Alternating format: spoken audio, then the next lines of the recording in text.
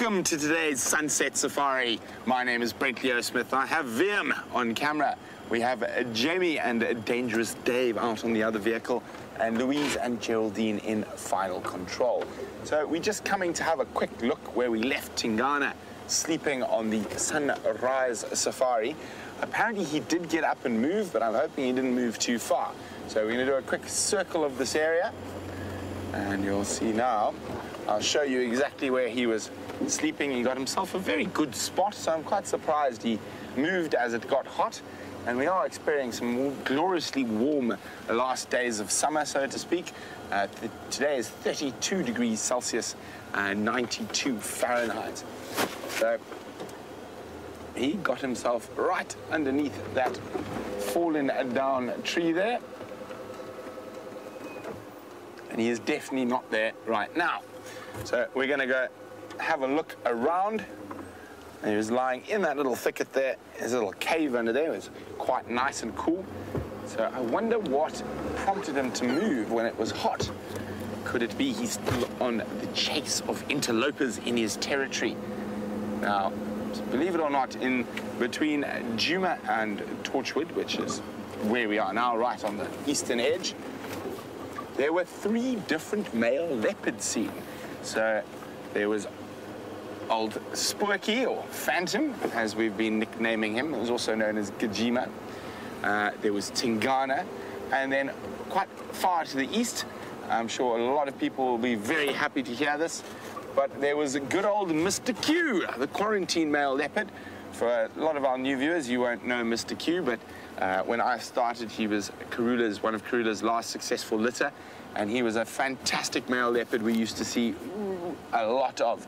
But as he's got older, he's had to move out of his natal territory, so he's down to the south east of us. Now, there's not a track we see every day. Nothing there, Vim. Which is not a leopard track, um, but it is definitely worth having a look at. Um, which one are we on here? Oh, the door. Sorry about that. How's this one for you, then? Can you get this one? So if we have a look carefully here, and if I put my left hand down next to it, there's a slight resemblance. Much longer back pad though, but you can see the thumb there. Now, or there, sorry. It is a baboon track. So it looks like a single baboon has wandered down the road here. I know, more than one. There's been a couple of baboons, and Vim and I actually had a brief glimpse of them not so long ago, but unfortunately weren't able to get them on camera. Maybe today will be the day when we find a big Chacma baboon.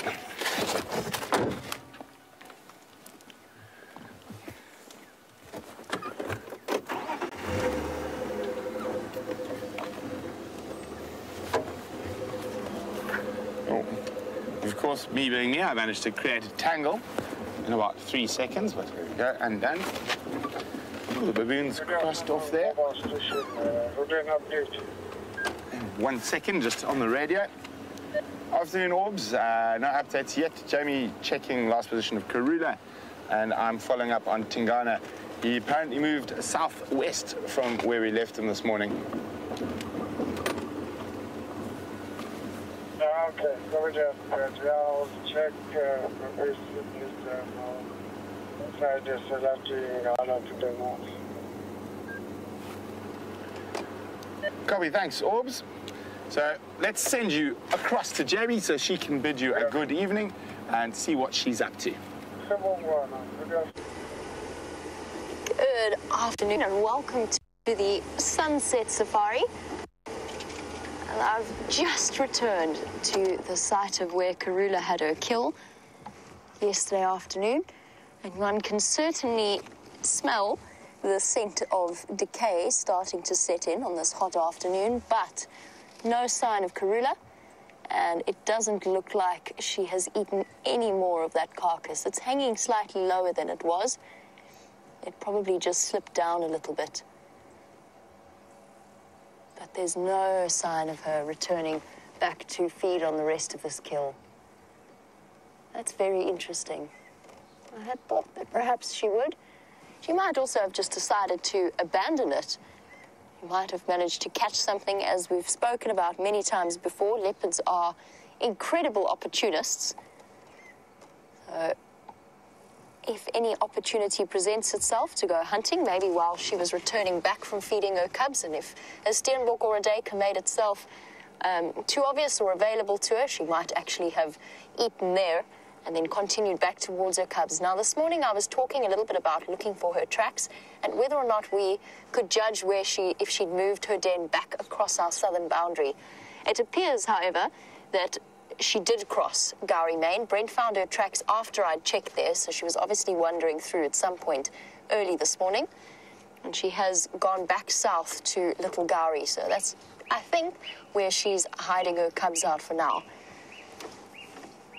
Can hear a puff-back shrike. I think I'm going to leave the drainage line, carry on looking, see if maybe she's in the process of making her way back, see what else we can find along the way, and then we will return back here when it starts to get dark.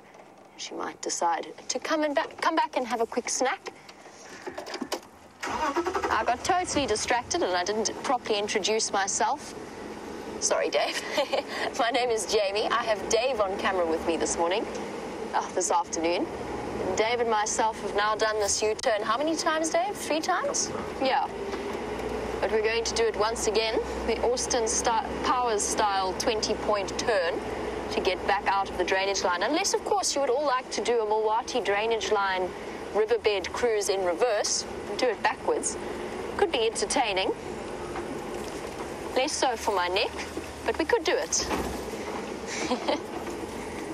Wouldn't be the first time I've done a Mlowathi cruise backwards. The nice thing, of course, about these short wheelbase Land Rovers is that we do have the turning space to be able to do this. Just might have to endure some spiking from a spike thorn along the way. Here we go. We're almost there.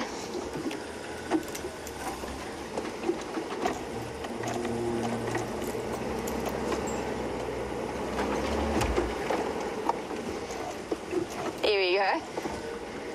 Oh, I'm very glad I'm not in a very long safari vehicle and that we've only got Dave on the back and not other people. Here we go. Sorted and turned around. Still haven't managed to get stuck there yet. Now that I've said that, I feel slightly concerned I might have jinxed it. Now, yesterday afternoon, Jandre and myself had a wonderful time just sitting in the drainage line with Karula, watching her sleep just off to the side and listening to all of the bird life that frequents drainage lines areas such as this. It's basically riverine vegetation. As we drive through, we spoke a lot about favorite trees a couple of drives ago, and there really are some incredibly spectacular examples. This is truly one of the most beautiful spots on Djuma. Look at this enormous jackalberry tree.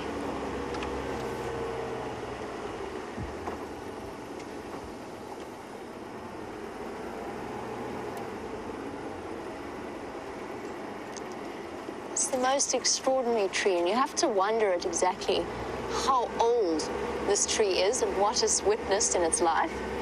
Hello, little one. I hope you're not still looking for your baby. I doubt it. I think she's just moving through the area because that's what Inyala like to do. This is the perfect habitat for them.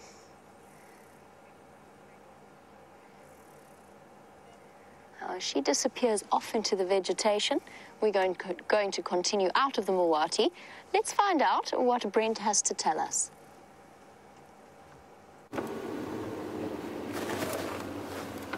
So, good news. No tracks of Tingana coming out of this block. Bad news. It's a big block. So I'm quite sure he maybe just moved a little bit to sleep somewhere else. Maybe that spot became a bit too hot.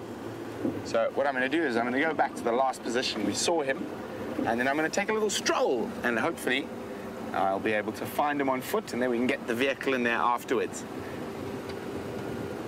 And if my luck holds, the last time I tracked him on foot, I managed to catch a glimpse of him catching an impala. So let's see what happens this time.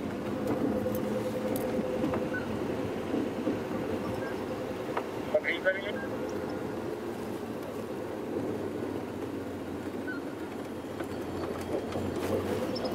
so there's a squirrel alarm calling, but a bird of prey flew over.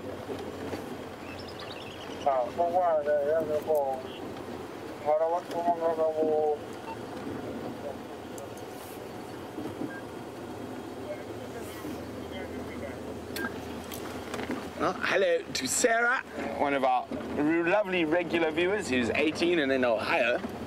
And Sarah would like to know have I heard anything about one of my favorite leopards, Kunuma, recently? Sarah, I have not.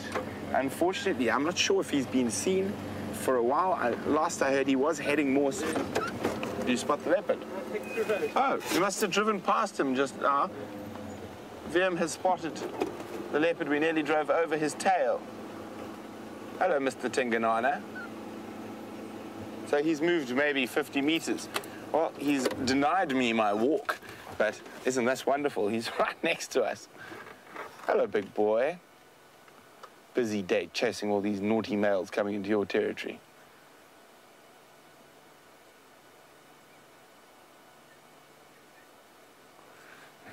Well, oh, back to snooze, which I think he's going to be doing for quite a while today.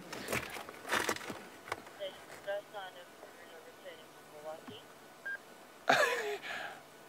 Karula well spotted Vim.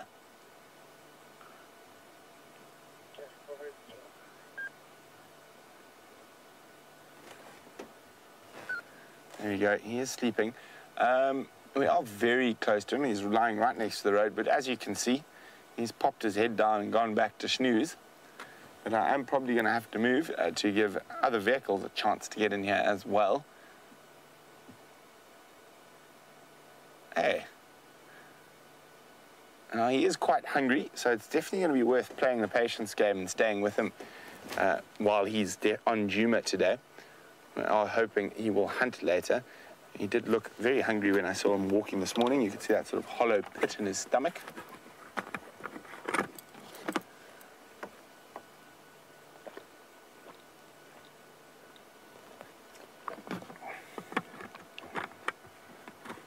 Yes. Poor boy. Hey guys, it's going to be on the Game Drive channel for a second.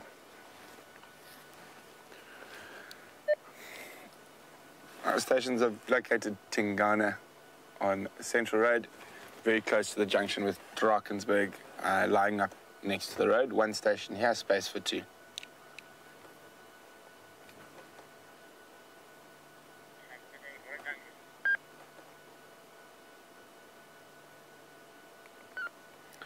Our leopard streak continues.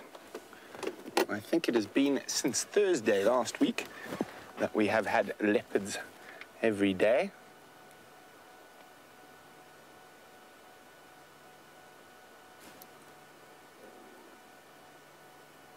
Uh, seven days so far. Tomorrow will be eight. Now, it is a big challenge, but our record was 29 days on the trot with cats. So this is a good streak. We haven't had an eight-day streak for a while. Well, not eight, seven so far. We'd have to find leopard tomorrow to make it eight, or lion.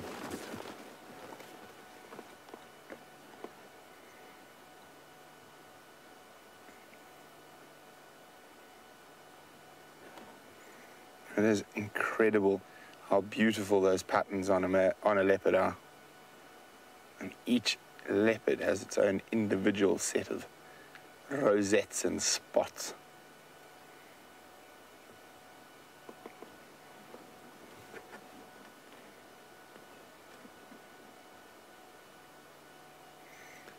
So even though from a distance they do look very cleanly, and on closer inspection as we're doing now, you'll notice quite a lot of ticks on him.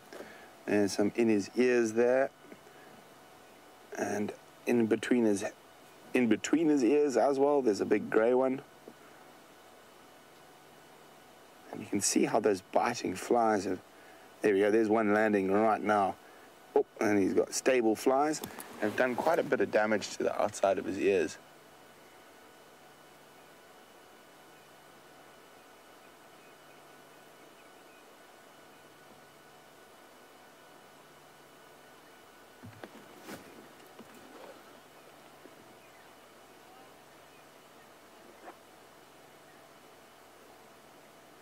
Well, Katrina on Twitter says, a round of applause for VM.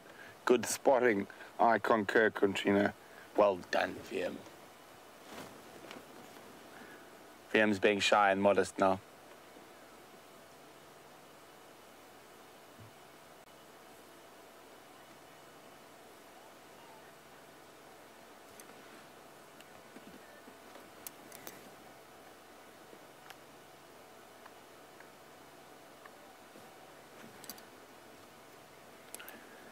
Uh, it's really great that we're so close to him and we can have a look at a bit more closely at his fur and, and the ticks and things. And Walt, our buck, would like to know, is a leopard's fur soft or coarse? Well, a bit of both. The, the top part is quite coarse, but that white underbelly is very soft and fluffy. But not something you really want to play with. Lots of nasties that live on leopard fur and uh, lots of little parasites that can easily jump ship from leopard to human. Now, when you do deal with captures and stuff with big cats, uh, you always wear gloves and uh, have a course of deworming medicine close by. Whereas what happens with gloves is they always get broken or ripped, so you often end up working without gloves.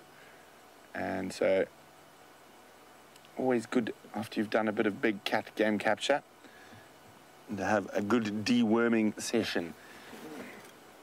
Make sure you haven't picked up any extra friends from the, the big cats.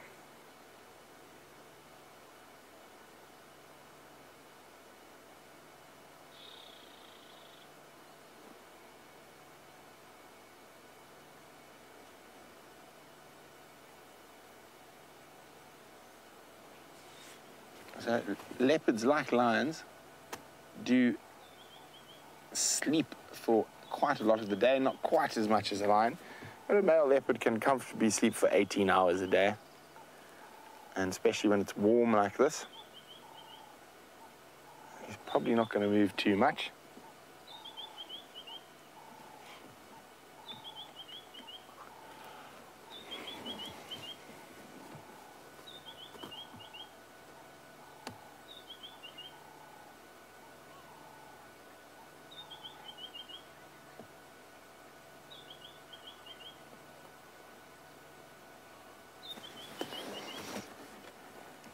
So we've been chatting about these irritating stable flies that keep biting not only the leopards but the cameraman and me. And uh, Barb is wondering, with the cold weather coming, are we likely to get any respite? And we will get a little bit of a respite, and there won't be as many flies as in the winter months. But uh, I think not quite there yet. You can hear a white-browed scrub robin calling in the background.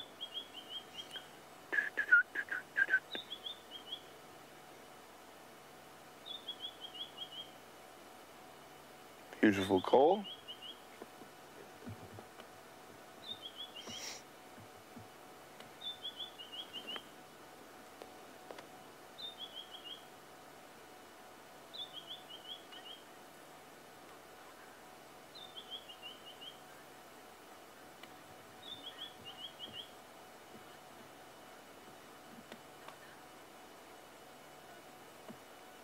Oh, tired kitty.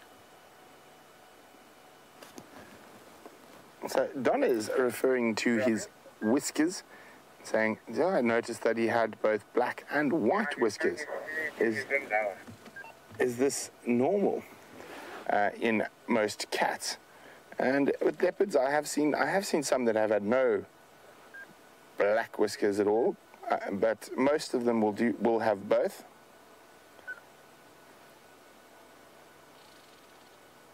And sometimes some of them have stripy whiskers. I noticed that on Tundi, she had one or two stripy whiskers that were both black and white.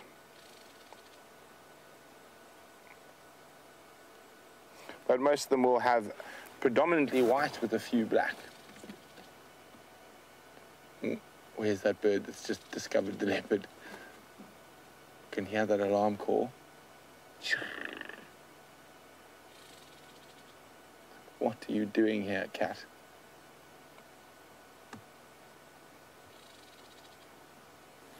Can you see it, Joe? Sounds like a little prinia or cisticola. Just waiting to try it. See if it pops out into the open. It might come out into the open to harass the leopard. Ah, and it decided discretion is the better part of valor and moving away.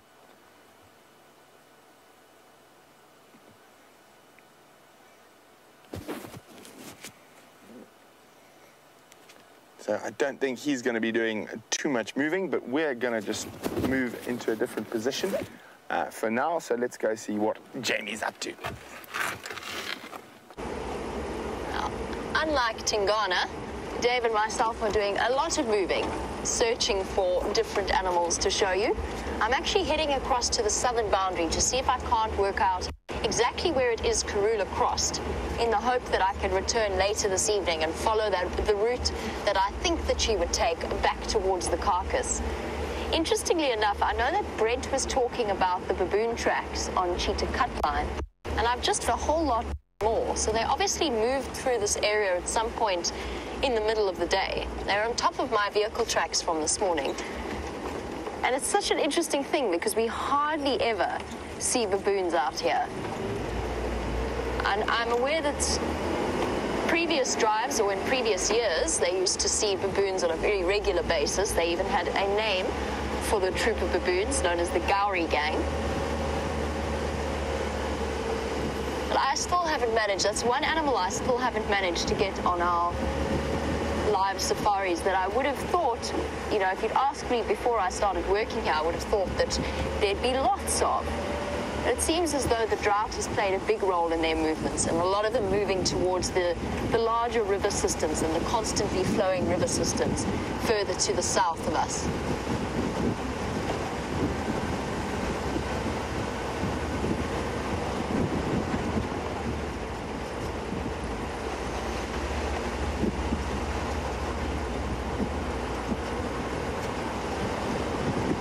And apparently, James Richards shares my enthusiasm for the prospect of a baboon sighting. Uh, there, that's exactly where tracks have crossed out. I agree, James. I think it would be awesome to get them on a live drive. I'll show you where I mean exactly. Oh, no, sorry, my mistake. That's a hyena crossing. That's not Karula. That is definitely not Karula. I'll show you how easy it is to make that mistake, though, when you look quickly. Can you get that track there, Dave? A paw print next to that ant mound. There we, there we go. Um, come out a little bit. Let me see if I can, if I can figure this out. Yes, it's just a little bit to the right there. So where those big buffalo tracks go through, and the track is just behind it. Come down a little bit. A little bit more. Where is this thing now? I'm very confused. Ah, there it is. there we go. That is the paw print that we're looking at, the hyena track. And if we move, follow back a little bit sort of to the right, we should be able to see more of them clearly. Here we go. Now, this is a, a really nice idea that was suggested by one of our viewers that was to screenshot and start a list of tracks, almost like our bird list. And I thought that was a really brilliant suggestion. And we can actually do two here. And I'll jump out and I'll point them out to you. And Dave will just let me know if Tingan is up and if Brent, anything is happening with Brent, so never fear there. But if we just have a look, and I'll try and get my shadow out of the way. This is a hyena track going in that direction, so you can screenshot it, and maybe with something for scale, would be a good idea as well. Perhaps my hand for scale would also Just help. out of sight, Jamie. Is it just out of sight? we reposition the vehicle just Okay. Um, can you get the tortoise tracks as possibly from here? Or is that also a little bit too close? Uh, it's just, again, of sight. Okay. I've just put the vehicle a little bit too close to the tracks. So we'll shift ever so slightly. That doesn't help Dave at all if he can't see over the side of the vehicle. Let me see if I can't shift a little bit. Biggest problem is this quite large tree that's off to the left of us. Are we doing there? Better. Cool, perfect. Thank you. Here we go. So there's a tortoise track for you. Let's start with that one, and you can screenshot that. I'll hop out again if I can get out. And I can just show you something about the direction that this track is going in. So if I shift my shadow out of the way, have a look at where the dirt is flicked in that direction. So it's as it's walked, its toes have dragged a little bit and it's flicked the dirt away from the track. So this tortoise is going that way across the road. And the hyena track, I actually think I'm going to find a nice, a really nice, clear example of a hyena track. I know where there are a few, and I think it might be slightly better for your tracking scrapbooks. I think that's maybe a good name for them. Rather than a track list, tracking scrapbook or tracking notes. It's up to you what you decide to call it. I think a tracking list is a bit, it's too like our bird list. We need a really good name. Tracking tips. You can add screenshots of the different animals and start your own list of the different tracks. And the question this morning actually came through was a request for things like waterbuck and impala tracks, tracks that we don't always necessarily stop for. So I think that's something that we're going to be doing more of in future, depending on how action-packed the drives are. If we have moments, we'll stop and we'll do a track or two a day, or a per drive.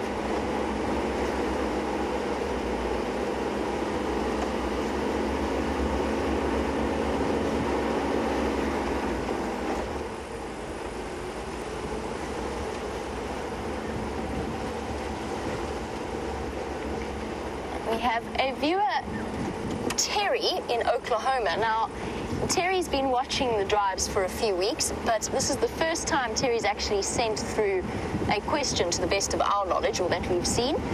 A first time interactor, as it were. Terry's curious as to whether or not, on the subject of our baboon tracks, whether or not we ever see monkeys on our live drives.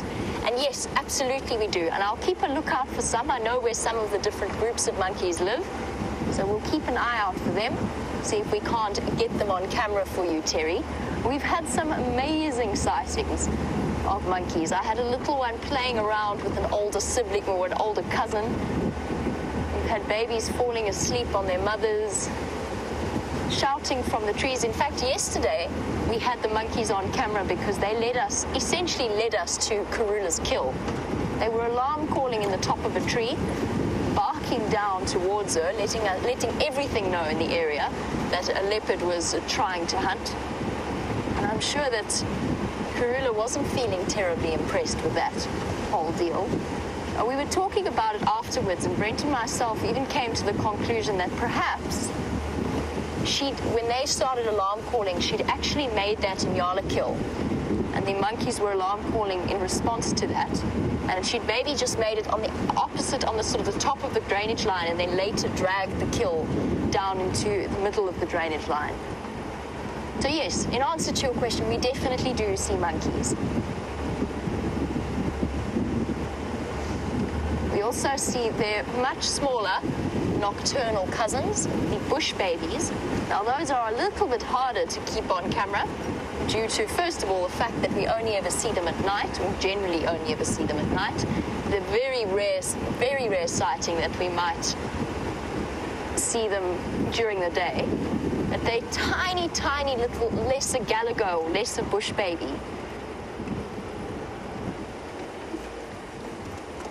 Just want to check this last set of tracks.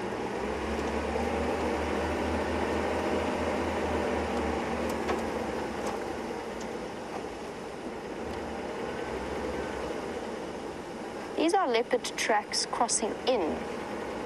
They're not very clear, but they're going straight towards this pan. And I'm just going to take us through there.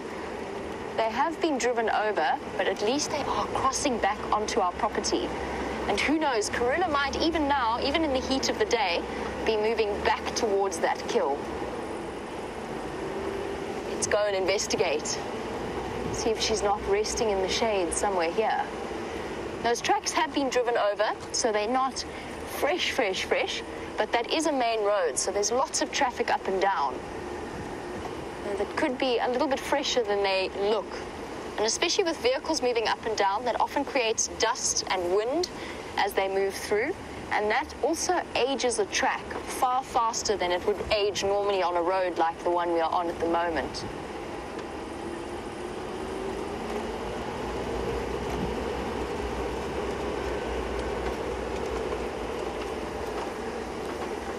There's plenty of water around, so her movements won't be dictated by the presence of water or the ability to go and have a drink. Now we're checking all of the patches of shade to see if she's not somewhere in the vicinity. Look who we have here, having an afternoon cool off. There are so many buffalo bulls around at the moment. It's weird because about 10 days ago we went through a buffalo drought almost. We hardly ever saw them. And now all of a sudden, all of the males are back on Djuma once again, occupying these pans or little miniature ponds. Pan is the name for a smallish, a smallish pan, a smallish pond. He looks particularly contented. Look how wide this individual's horns are. As he sits ruminating on both grass and life. He's got very, very wide set horns. It's amazing. I never would have thought about it before I started working here and before I spent so much time looking at the details of the individual animals. But I never realized how totally distinct each individual buffalo bull is from another. I never would have thought about it, but they either have different growth patterns of their horns or more scarring. There's one that's got half a horn missing on the right hand side of his head. There's one that's blind in one eye that we saw this morning. There's also one with the most remarkably straight boss. It looks like he's got some kind of hairstyle going on. It's very easily recognizable. I never would have thought about that before I started these live drives. Before that, a buffalo was just a buffalo.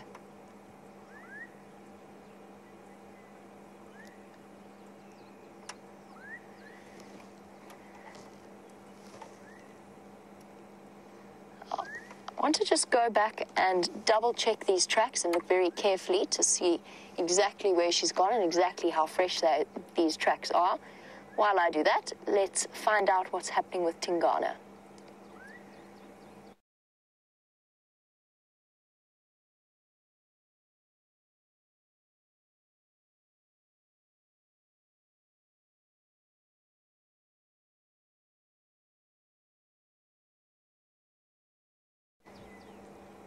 Oh dear, it seems as though Brent doesn't have any signal just right now. Not sure exactly what happened there, but Rusty doesn't have any picture. So we'll continue on our search for this leopard together. And who knows, we might get lucky again.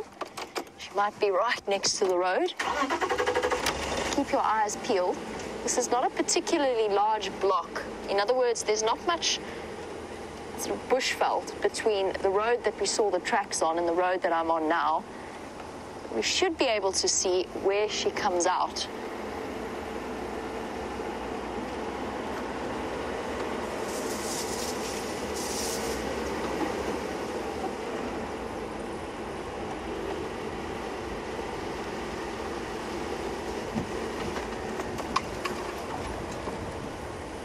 lots and lots and lots of hyena tracks. There's her tracks in the road coming this way. So she's walking along here. She's walking back towards Treehouse Dam. And it might be my imagination, but I don't think it is. Oh, she's walking up and down. She's pacing. Let's just try and work out which direction she's going or which tracks are fresher.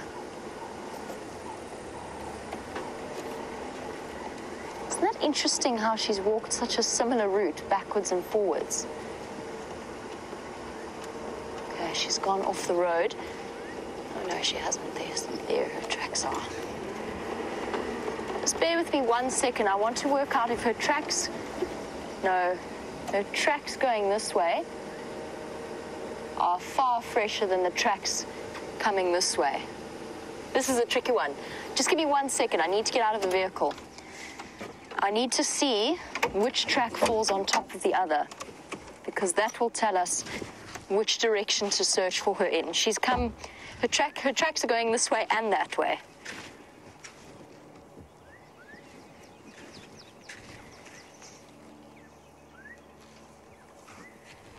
Come on, Karula, I need you to step exactly in the right spot. Okay. Her tracks going that way are definitely fresher. Oh, I hope she's at the dam. I hope she's somewhere close by here.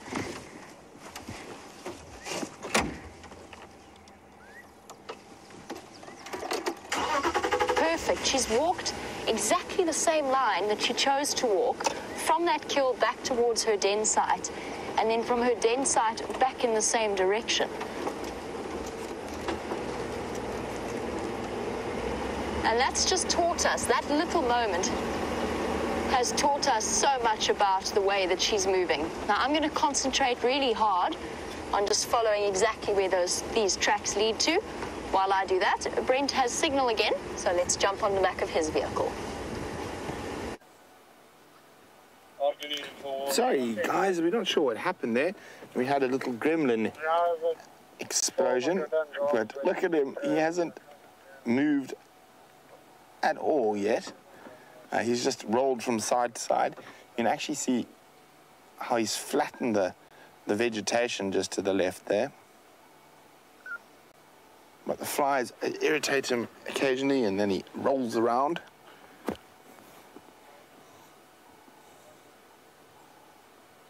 But as I was saying, if we look towards his back, you see just in front of his back leg, you can see it's quite concave there.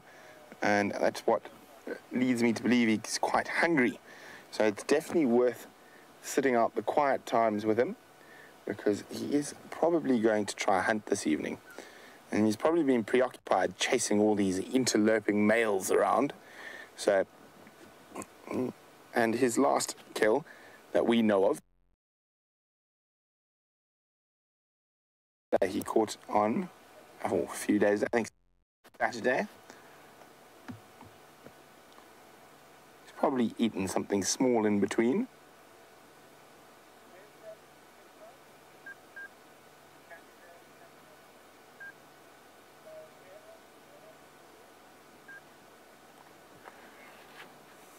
But I wouldn't want to be anywhere else but sitting here with one of Africa's most elusive and beautiful big cats. And I know Tingana has fast become a favorite of many of our viewers. As we've seen quite a lot of him um, in the movement of leopard territories over the last six, seven months, with Mvula being ousted and has been actually lost almost 95% of his territory to Tingana and to another male leopard in the north.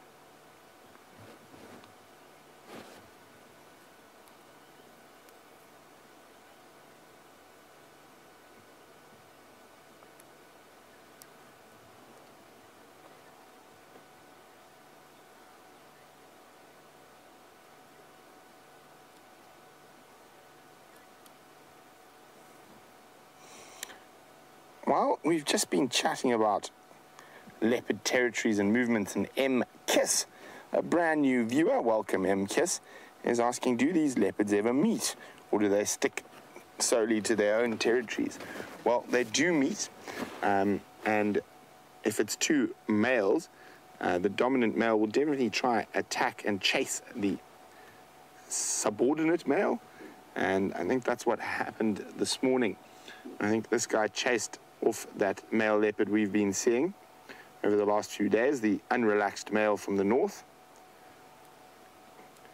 And uh, he has definitely set himself and established himself as the dominant leopard on Djuma for the moment, but that's the thing, they constantly change. And they also do come into contact with the females. And when they come into contact with the females, uh, if the female's got a kill, quite often they will steal it. Quite often they'll just sort of pass each other, ignore each other. But it is a very interesting dynamic. And of course, the time they actually spend lots of time together is when they're mating. Now, speaking of a female leopard that this guy has mated with, let's go to Jamie. Guys, this is awesome. I felt like those tracks were so fresh. She was in the road and she's hunting something. Look at stalk. She's definitely interested in something around Treehouse Dam. I can't reposition at the moment. I'm just going to let her get further ahead of me. She's oh, she's gone down into, no, she's still walking. I wonder what she's seen. Oh, there's nothing more satisfying than tracking and finding a leopard. Okay.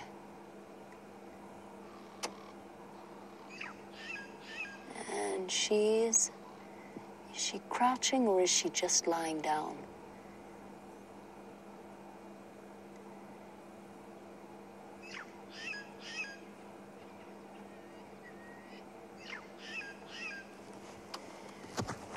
She's far enough away from us that we can reposition slightly. I just said to Dave, these tracks are so fresh that I feel like she's around the next corner. And she was.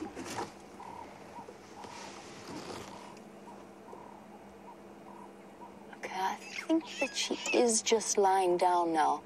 I think that she's just taking a break in the shade.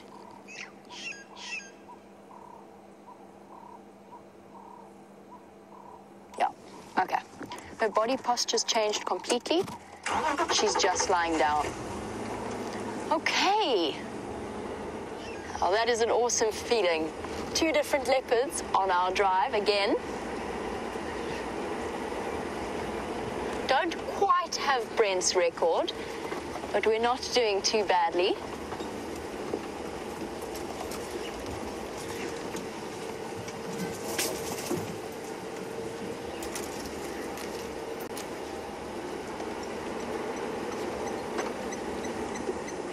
Hello, girl. I cannot wait for when she decides to bring her cubs out into the open. I'm so excited for her. And she's looking so incredibly well. Okay, we've got to duck under this bush just to avoid going too much into her personal space. You okay there, Dave? Hold on. All right, we're going to carry on forward and then I'm going to show you why I've stopped. We just have to get out of this bush.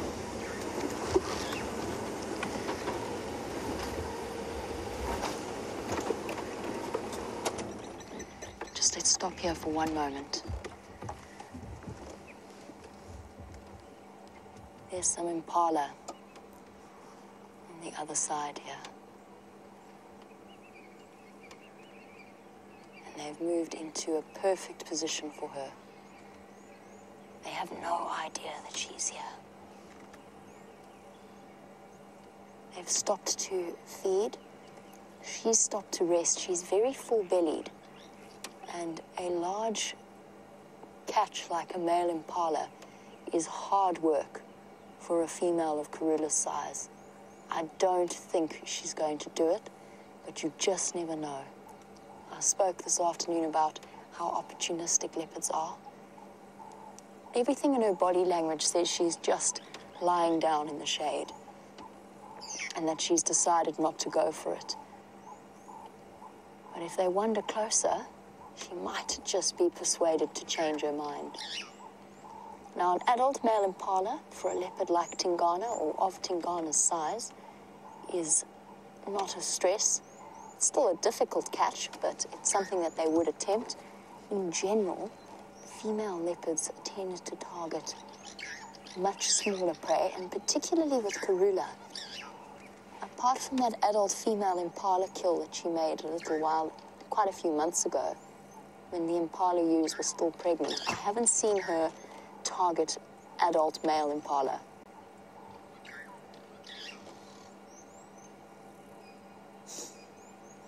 This is so awesome.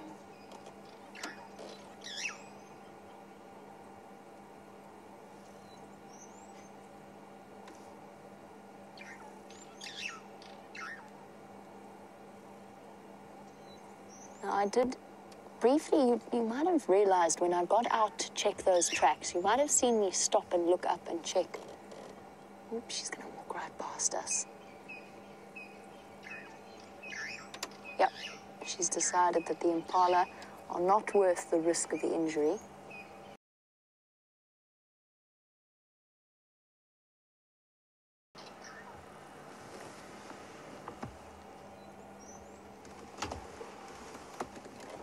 She's got fresh, fresh suckle marks on her belly. We will have a chance to get a view of them. I'm just letting her move away from us for now. I think she's thirsty. It's time for a drink. Oh, it's so lovely to see that. These fresh little ring marks around her nipples from where the cubs have been feeding.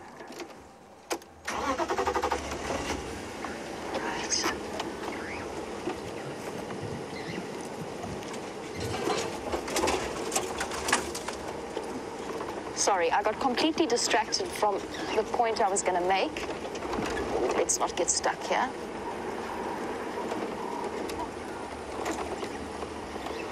Hmm, she might find herself with some stiff competition at the dam. No, she's walking right past it. Find the log.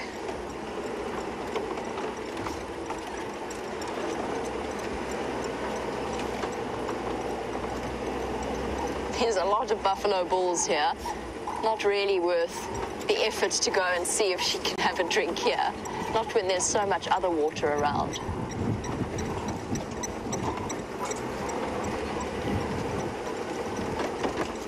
Now, this could actually get very tricky. She's going to go into the drainage line that runs to the east of Treehouse Dam, and she could well lose us there. So I'm going to get onto the dam wall itself. We go. Stop here. Oh, the lapwings are so cross.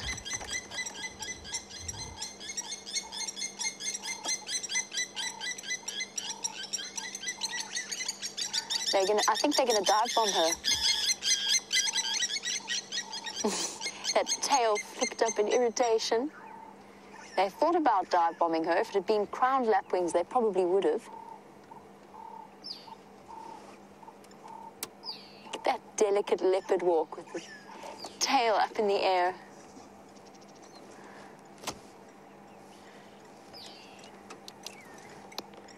Uh, station at Treehouse Dam.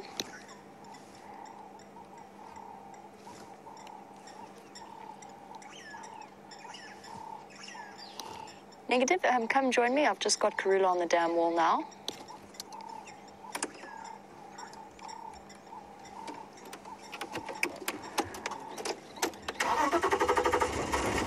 Let's get a bit closer to her. Kat, you are absolutely right. We have been so spoiled with leopard sightings recently. I'm not going to be complaining though, and I'm sure you're not either.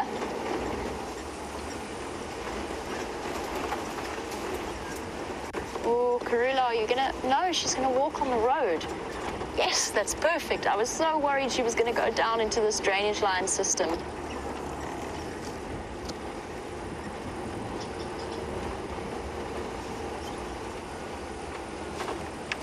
this stunning afternoon light. Now, as I was tracking her, you'll notice, you might have noticed me look up very suddenly. And that was because I suddenly realized just how fresh those tracks really were when I was off the vehicle. Now, that is not because I'm worried about Karula as a threat to me on foot, but more to do with the fact that I did not want to scare her away. And Errol was wondering are leopards on foot more of a danger than, for example, lions? Are they unpredictable and dangerous, or is there a safe distance you can be from a leopard on foot? It very, it very much depends on the individual leopard, Errol. For a safe distance, Karula is an absolute star on foot. She's perfectly comfortable with the presence of people, and we're gonna just loop around this corner and catch up with her on the other side. She's giving me the space to just get ahead of her.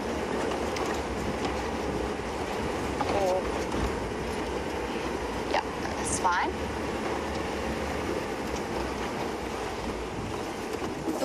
So Errol, I've we've had sightings of Karula 20 meters away on foot.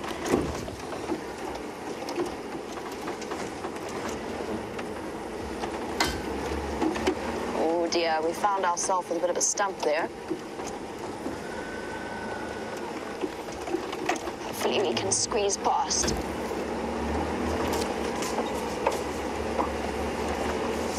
Just keep an eye out for her for me,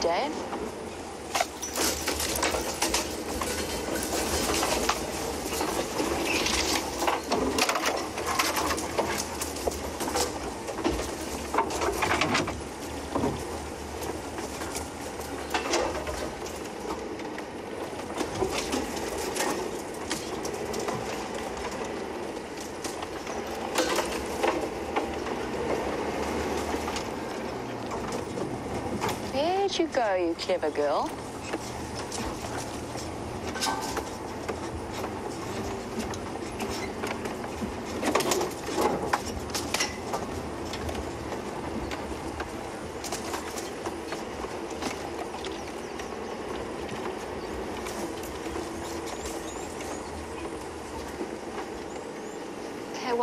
I try and figure out exactly where this mystery, mysterious cat has vanished to. Let's go back to Brent and his leopard.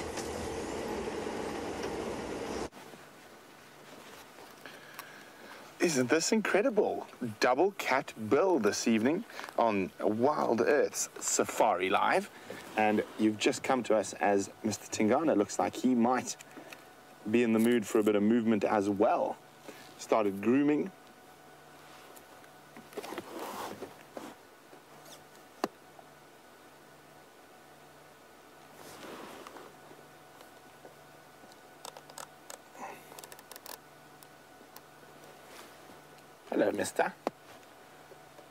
Oh, maybe not quite ready for a move just yet. Oh, he's going to carry on grooming. We might get some nice big yawns. There we go. He's found a flea or a tick that he's trying to get off.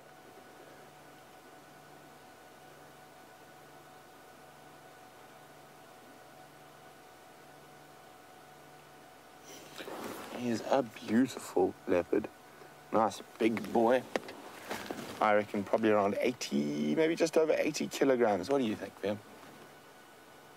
Yes. Mm. Right, maybe? Maybe 85, so a very big leopard.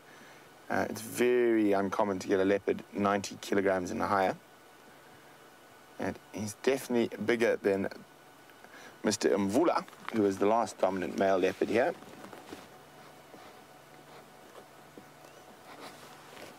Now, but one must remember, with a lot of animals, size isn't everything when it comes to dominance. Uh, often you'll find, sometimes, especially with lion coalitions, the most aggressive is dominant, not the biggest. But if you're the biggest and the most aggressive, then you're winning in the wildlife.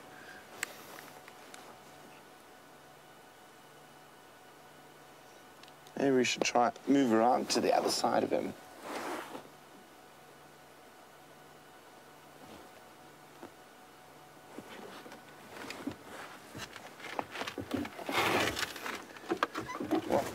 Valeria, I have to agree with you 100%. She says we've been incredibly lucky um, with all the leopard sightings we've been having, and I must definitely agree with you. I won't say it's all luck though, Valeria. There has been some good hard work and some wonderful tracks to follow. And that is the lovely thing. When the leopards are here, there's always a good chance we're going to find them.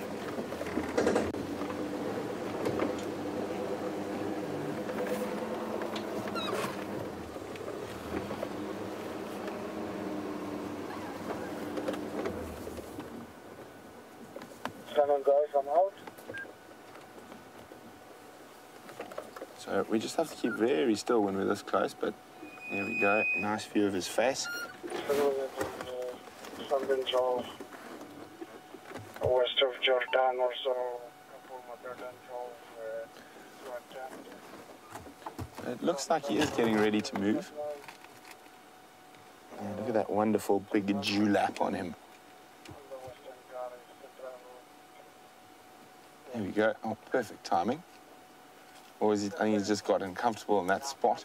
So you quite often find that with leopards and lions, they keep moving from where they've been sleeping just because uh, the ground gets hot. Oh, look at that light on his face.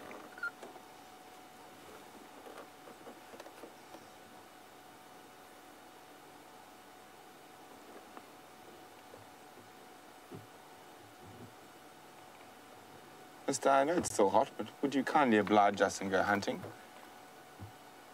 I've got a slightly stronger suspicion he's going to kindly oblige us and lie down flat. I might get a nice yawn here. Where's my camera? I'm going to get ready. I think he might yawn.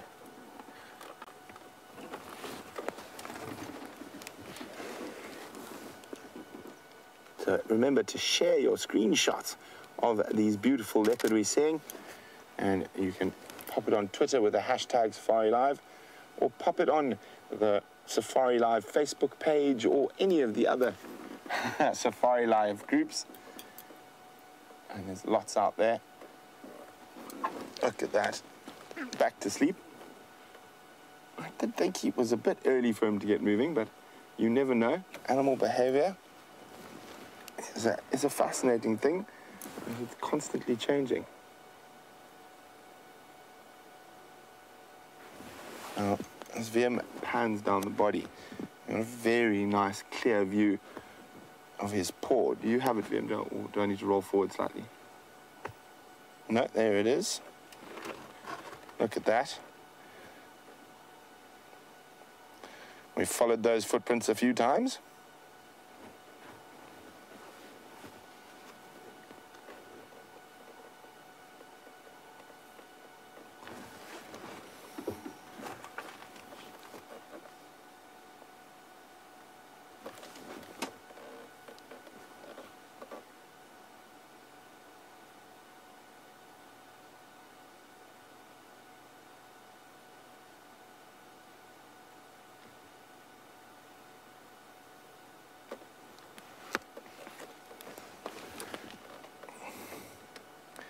Well, James on YouTube says cheetah used to be his favorite big cat, but now seeing so much of Mr. Tingana, uh, he thinks he might be leaning more towards leopards. As we're just going to move around because otherwise, um, put the sun at our backs. Uh, unfortunately, in this current position, Liam and I are staring straight into the sun, uh, giving us funny sort of wrinkled looks on our faces. So I'm just going to turn around. We are not leaving him, don't worry. I just want to get that sun out of our eyes.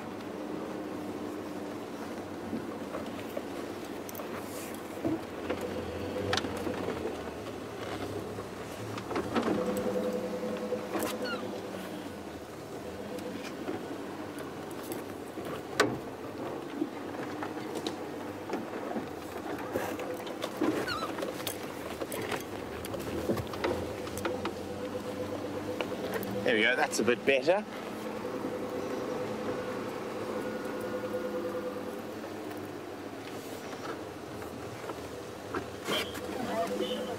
making her way from Treehouse Dam and off to the block this last relocate. I'm sure she's going to the block. you go. Tail end of a leopard.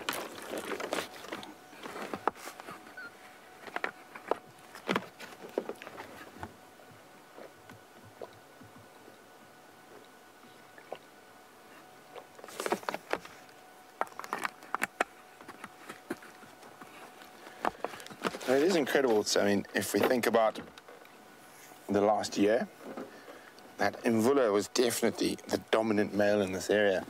And now he's a dispersal male again. So male leopards, once they get a bit older and they get pushed out of their territories, they become nomadic and uh, they will sneak around and jump between different male leopard territories trying to avoid the dominant males. In some cases, uh, when they're a bit younger than sort of Mvula, if they lose a piece of their territory, they'll go try fight a, a male leopard they don't think as is as dominant as they are. But in this case, Mvula is a bit bit too old. His days of controlling vast swathes of African wilderness are drawing to, oh, they, they, they are definitely closed. So he'll probably survive for another year or two uh, just sneaking around the peripheries, avoiding big male leopards.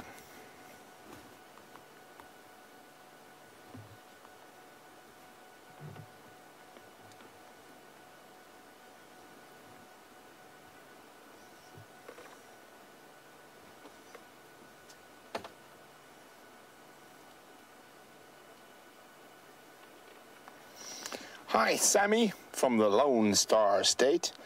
Uh, Sammy is wondering, as leopards age, does their fur turn white like other animals? Uh, it does get a little bit paler, and you can see some sort of graying in the in the in the chops around the face. But I've never seen a leopard turn completely white.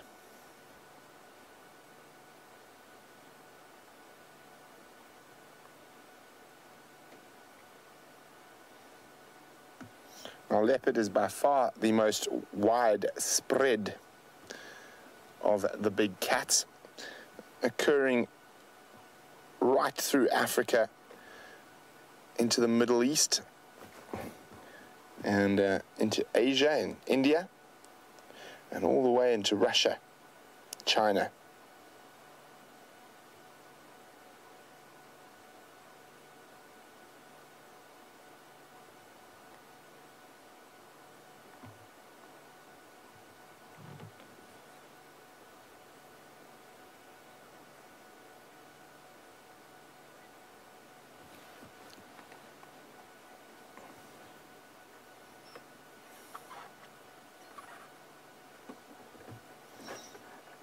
So Kat is wondering, are leopards cleaner than lions? Uh, they seem to be grooming and they do look a little bit cleaner. I wouldn't necessarily say that they, they're cleaner than lions. Maybe they spend a bit more time grooming themselves, but lions have the benefit of friends and family to groom them. So that does make a difference. I'd say they're both pretty dirty animals, although they, neither of them look particularly dirty, but they are covered in little parasites and things, and quite smelly too.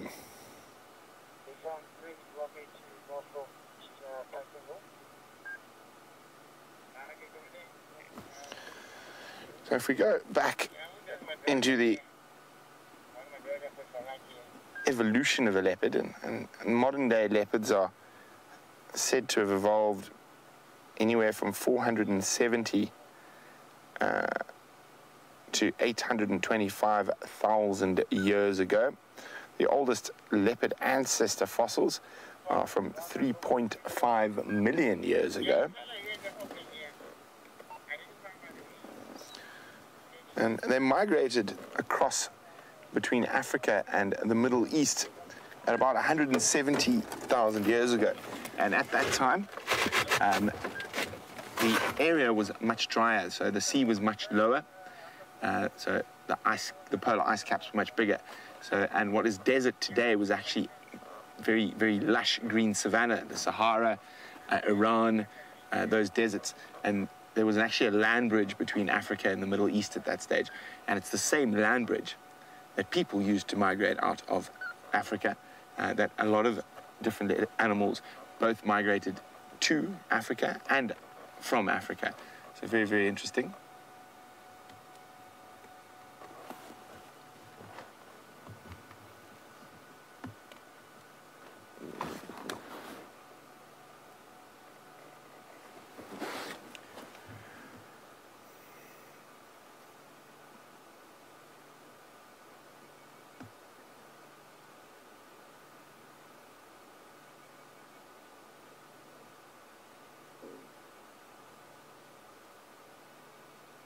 So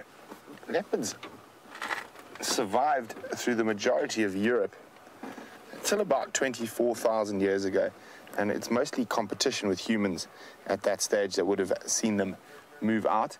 So they would never have occurred in the densities that we get in Africa or India or Sri Lanka because um, the temperate forests of, of England are not really, or England, sorry, not England, of Europe, old world Europe, um, France, uh, Spain, Portugal, Italy, are, are, are really, really, they don't hide, hold high animal densities. So you would have found the leopards there, the territories would have been much bigger, and then also there's not that much game in a temperate forest compared to a savanna or to a mixed woodland like we're in now. So you would have found that competition with people would have been the main reason for them becoming extinct in Europe.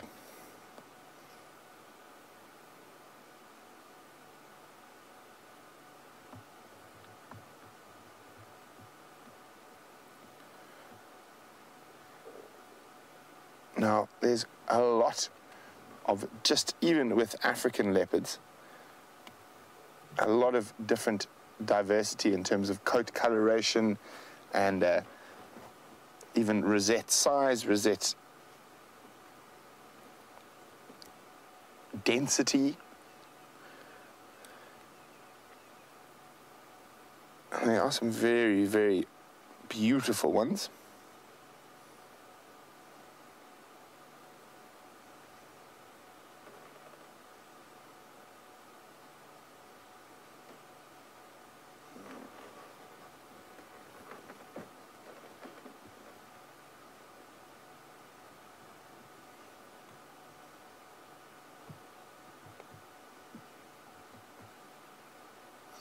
Well, Melanie in the Great White North of Canada, and Toronto to be more specific, has been watching for quite a while, but this is her first question.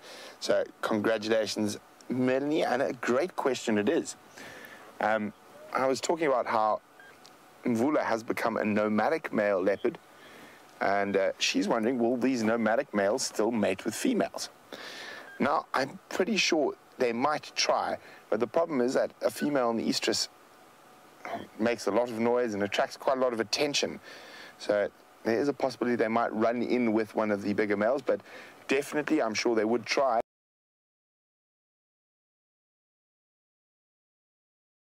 Continue their lineage on a little bit further.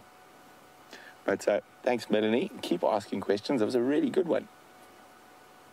Mr. Tingana has not moved a muscle. He did give us a little bit of false hope as he groomed a little bit, but he groomed for a good, good little snooze. Now, there's a couple of different color variations in leopards that are more out there than others, and the most common form of that is the uh, form, which is often referred to as a black panther. And of course, panthers um, are not panthers at all, but they are black leopards and it's a recessive gene uh, that, that continues through.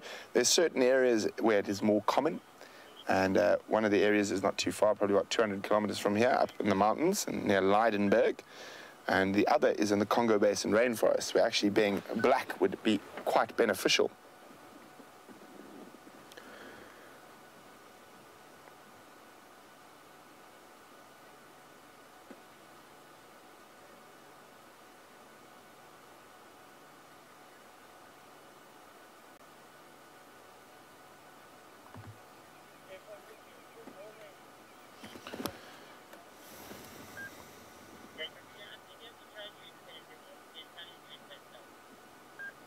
So hello again, Ivan from Serbia, who started watching yesterday. And we've just been chatting about color variations in big cats. And Ivan says at their zoo at home, there are white lions. Now, he's asking, is this because of specific breeding in the zoo or can it occur in the wild? Um, most white lions are from because they've chosen to breed uh, the animals holding that gene. But it does happen in the wild, but very rarely. And actually, just north of us, the Timbavati uh, Game Reserve is the area most famous for its white lions. They've got a couple at the moment. And also, recently, there were three or four born in the east central eastern part of Kruger National Park around Satara. So they do happen in the wild, but very, very rarely. Come, Mr. T. Time to get up.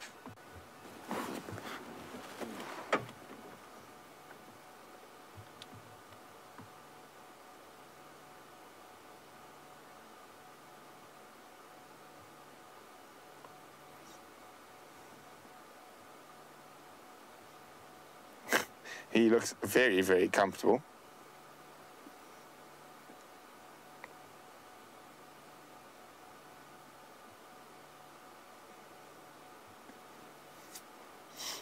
Now, the first people to keep leopards, so to speak, uh, were the Romans, actually.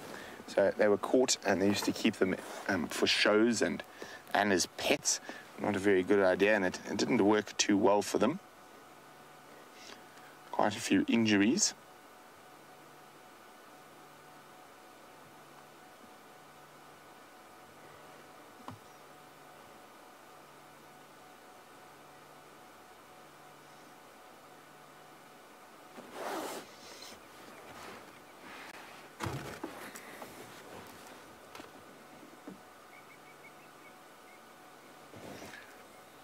So Billy is wondering, are leopards poached at all and is it a problem? Billy is from Texas. Well, Billy, the thing about leopards is we, you, no one really knows how many leopards are left in the wild, and there's various different figures that are bantered about. Um, they are poached for their skins, and uh, in South Africa, there is a religious organization uh, called the Shembe Church, where somehow, it's very strange, somewhere along the line, it, it decided that everyone had to wear leopard skins. And the, the, the, men in the church had to wear leopard skins. But, uh, and the skins don't, if you wear them quite regularly, they don't last too long, so they wear out and you've got to keep replacing them. And there was so many leopard skins, I mean, the church has over a million followers, that no one was quite sure where all these skins were coming, coming from. There's actually a very interesting documentary on it. It's called To Skin a Cat. And uh, actually know some of the people who are involved in this project. And uh, they came up with a very solution with a synthetic uh, fabric, leopard uh, sort of shawl and stuff that they would wear traditionally at the church. So that seems to be working much better. But we don't know how many leopards are, but they are definitely poached for their skins in certain areas. I'd say in the area we're in at the moment, they're not really poached and they are quite stable. One of the biggest threats to leopards in, in this part of the world uh, would be crossing main highways. Quite a few of them get hit by cars. And there's no fence that can keep a leopard in. If a leopard wants to get out, it'll get out. But uh, obviously all normal fences, of course, not specialized fences. And they are, they do move vast distances. Uh, a collared dispersal male was uh, in northern Zululand and he moved in the space of about six months uh, over 700 kilometers uh, into the Kruger National Park through farmland, through villages, through towns to get there. So they are incredibly adaptable and, and one of the most widespread of the big cats with the most diverse habitat.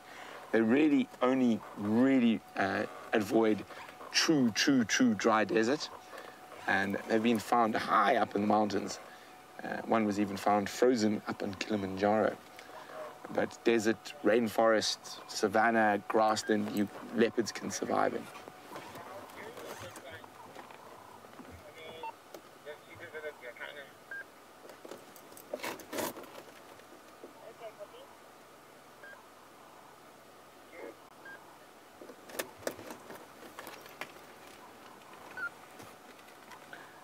Hello, Gracie. Gracie is one of our favorite regular viewers, and she's eight years old. Gracie would like to know, is this a daddy leopard? Uh, yes, Gracie, it is. He's the big daddy at Djuma at the moment. And Gracie would like to know, will he play with his cubs? Sometimes male leopards do, sometimes they don't. I have never seen Mr. Tingana with cubs, so I can't say just yet, but hopefully he will. He'll definitely tolerate his cubs. But there we go. Of course, he does not quite sure, or he thinks they're his cubs. They might not be his cubs, you never know. Female leopards have lots of daddies. But speaking of female leopards, let's jump back on board with Jamie, who's still with the Queen. She is absolutely incredible. The speed that she covered the distance between where we where we lost her at Treehouse Dam to here, Dave and I were one step behind her every second of the way. She just covered that ground so fast. She's hot now though. She's a very hot, tired leopard. And as we mentioned, or as we've touched upon, it is a very warm day this afternoon those beautiful, perfect paws that left such lovely marks in the sand for me to follow. Shame. You can see how she's how rapidly she's panting. She covered in a straight line, and I mean it really was almost a straight line, but she followed the roads almost all the way, and she covered what would I guess at that distance? Probably a kilometer. So just over half a mile. In less than 10 minutes? Probably less than that. Just walking. She wasn't running, her tracks were not running, she was walking fast. Just gives you an idea of how much distance a leopard can really cover if they want to, and why it should never come as a surprise that one afternoon you've got a leopard on one side of the reserve, and the next day they've completely crossed in, a, in the opposite direction and covered a tremendous amount of ground. I'm exhausted just looking at her.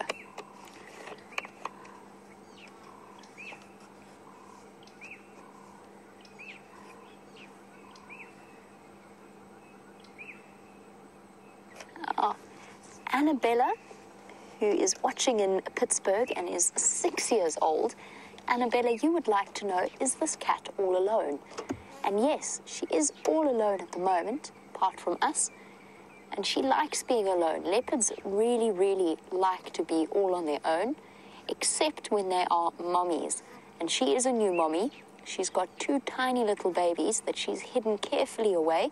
And she's spent the whole day with them now and she's only just left them, safe and asleep, to come and have some dinner. So she spent the last close to 24 hours, a whole day, with her cubs. So that's one of the only times, Annabella's, that, that leopards don't like to be on their own, is when they've got babies. And the males, when they are ready to mate with the females, will also be with other leopards. But otherwise, a leopard is a secretive animal. It likes to stay invisible and hidden and move about all on their own. It's totally, totally different from lions. Lions live within their families.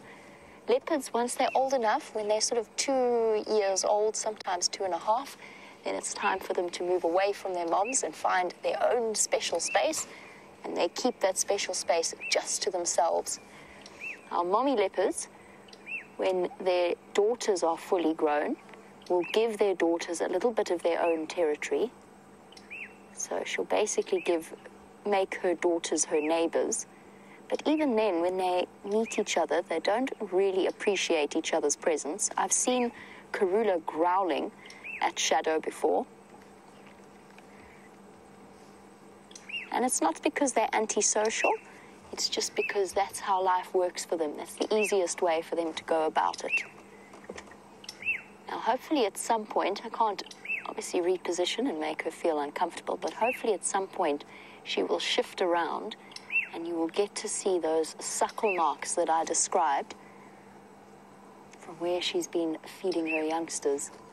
This is such an incredible, yes, we didn't see it for the whole story, but this is such an incredible lesson in leopard movement. She's a new mom.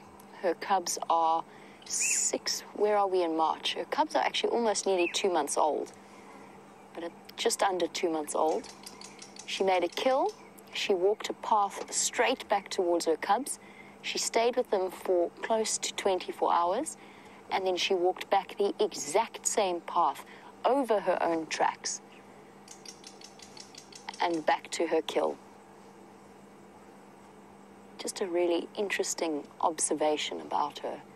But she's found herself, now that she's here, she's actually too hot and too tired to go and eat right at the moment. She's just taking some time to recover herself.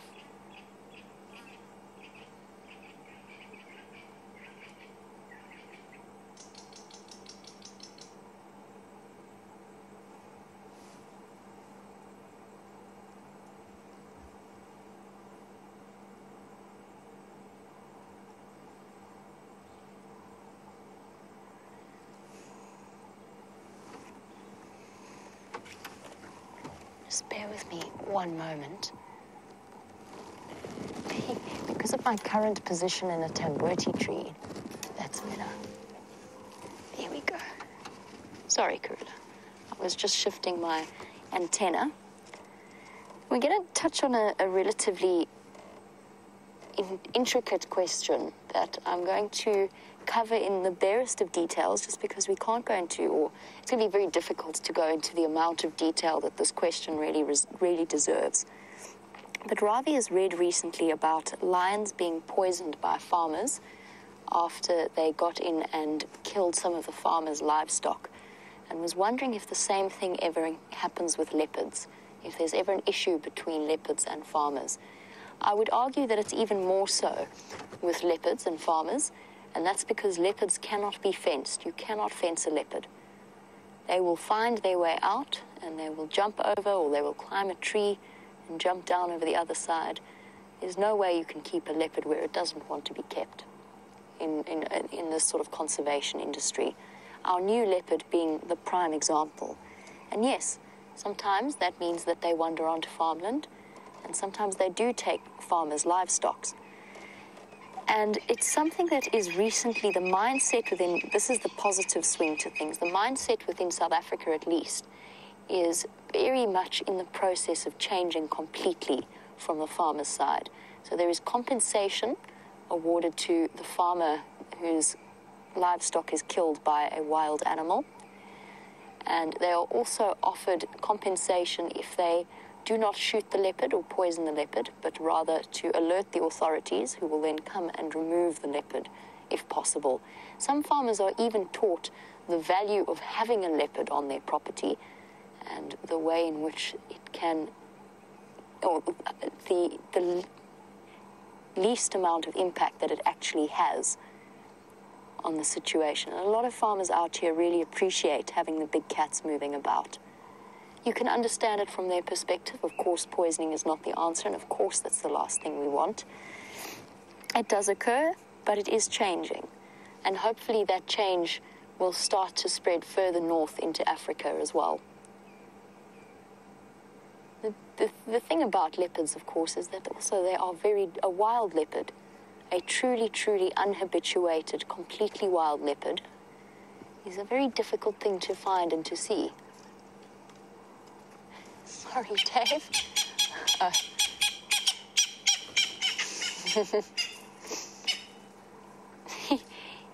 what were they doing, Karula?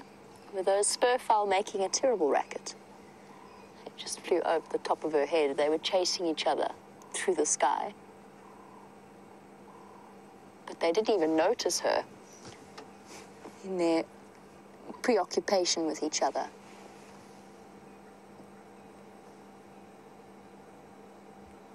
The question of interaction between wild animals and farmers and townships and villages alike is one that is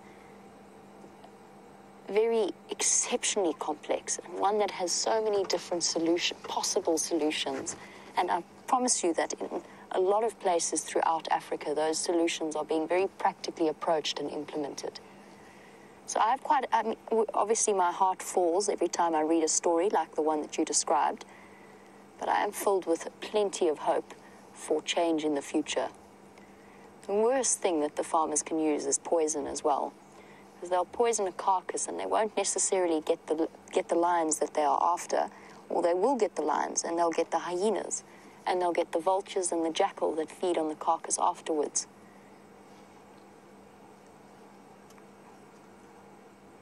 We can all, in our little way, teach people a different approach.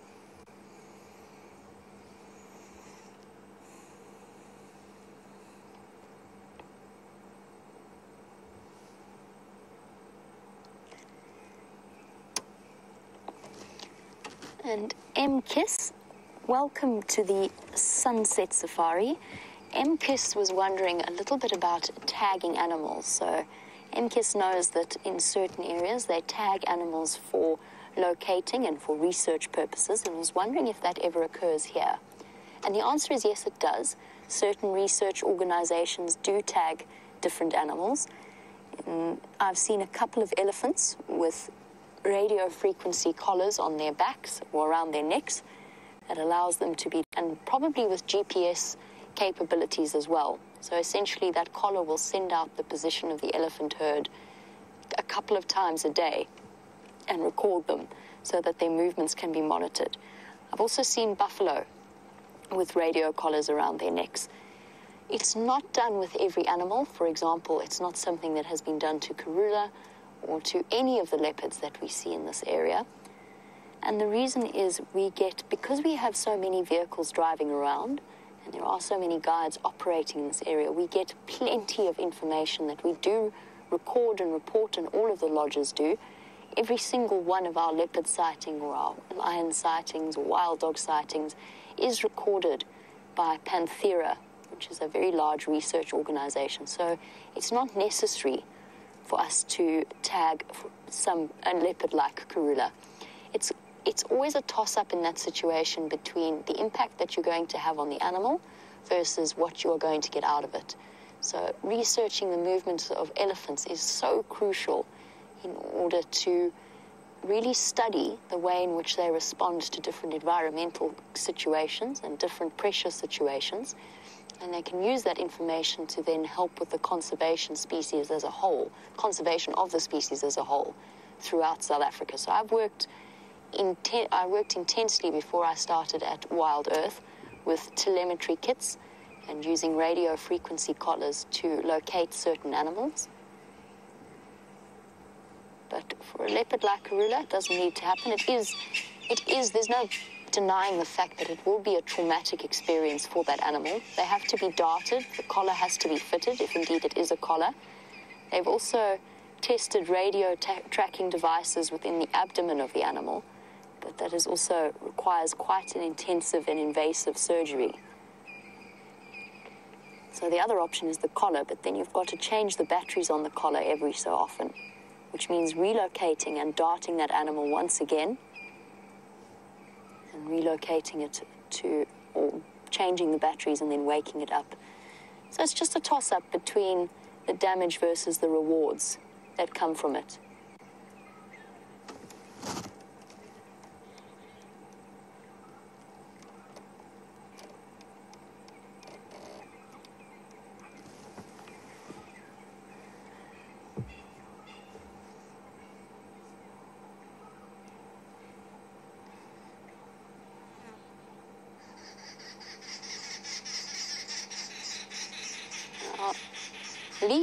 Is watching Karula very carefully as her tail flicks up and moves about every now and again. And she was wondering if perhaps it is an indication, or whether or not it's true, the story that leopards lift their tails up like that whenever they get spotted as basically a way of saying to the animals in the area, okay, I know you've seen me. Please don't alarm call anymore. I get it. I'm moving out. I'm not going to hunt any of you. And in this situation, her And I must say, I've noticed, particularly with Karula, she seems to have a, a very mobile tail. Uh, I don't think there is very much in the way of conscious control that a leopard has had has over its tail. I spoke about it yesterday. The fact that I've seen leopards give themselves away by flicking their tails while they're hunting, and I often wonder why it is that that happens, what it is that's led to that lack of control over a tail that it can mess up a hunt for them. They do, when they are spotted, they do lift their tails. You saw the way that Karula walked down along the dam wall with that squirrel alarm calling at her. She had her tail curled right up over her back. So when they are spotted, yes, they do lift their tails. Whether it's because they are acknowledging that they've been, they have been seen, or whether they know that they've been seen and therefore they can't hunt, and it doesn't matter if they make themselves obvious, I couldn't give you an exact answer. At the moment, she's just subconsciously flicking her tail, probably in response to flies that are moving about her head. You can see her ears going furiously as well.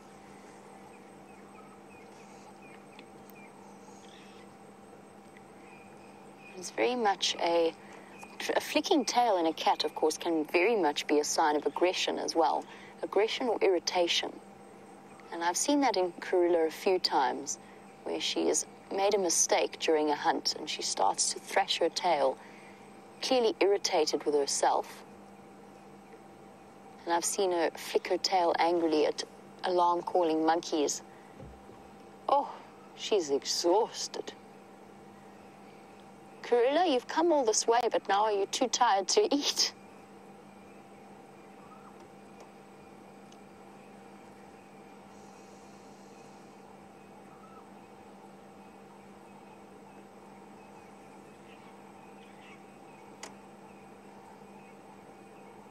Now, Sue, just before Karula lay her head down, you'd actually noticed something that I was looking at as well. And that was the flap of skin underneath Karula's neck. And you were asking that you thought only males had dewlaps, or do females as well, or is it just Karula showing her age? And to be honest, I think it's Karula showing her age. Females do have a flap of skin underneath their chins. It's not nearly as pronounced as it is in the large males. Ooh. Flies are driving her mad. But I think in this case, Karula's is more prominent because she's getting slightly older. I've noticed that her abdomen also sags quite a lot. That's, I think, because she's carried so many litters of cubs that she's actually possibly even slightly split the wall of the stomach muscle, which does occur in a lot of mammals when they've been pregnant regularly. So she's got a slightly, I don't want to call her it's a flabby belly, she's got a floppy belly and quite a floppy neck as well, and that's because she's getting older, her skin's losing elasticity, it's losing subcutaneous fat, as occurs with all mammals, including us as human beings. Particularly pronounced with her. Now, Ephraim wants to come and join us in the sighting, so I just want to chat with him on the Game Drive channel since our space is very limited. While I have that chat, let's go back over and find out what Brent's leopard is doing.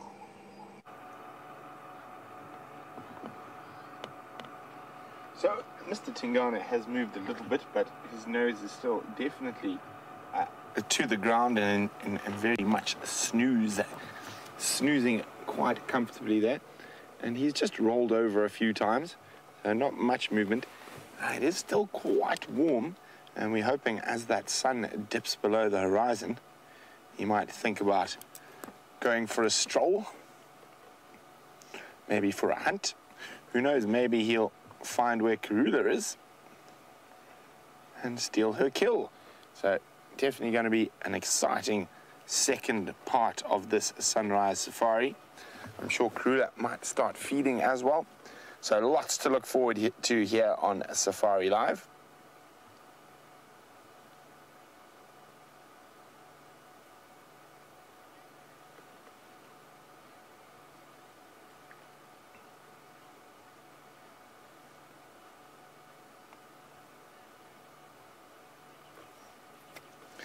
So, survey is wondering which of the big cats have the best eyesight.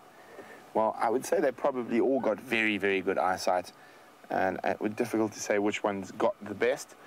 Um, their eyes are all very similar designed, so I would say all of them have equally good eyesight.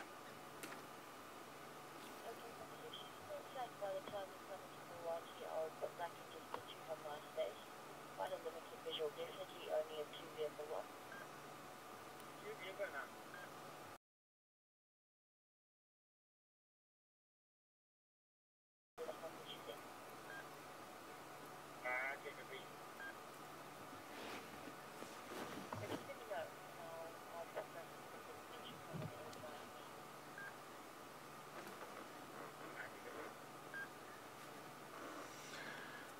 So Connor, who's in Massachusetts, uh, would like to know if there are any incidences of leopards hunting in groups. Uh, not to my knowledge, Connor. Occasionally, when the, there's a mating pair around, they might both stalk the same animal, but it's by no means cooperative hunting. And uh, I've never seen that, and I've never really heard of cooperative hunting in leopards. That is the do- domain of the lion, which is the only truly social cat we have here, or actually in the world.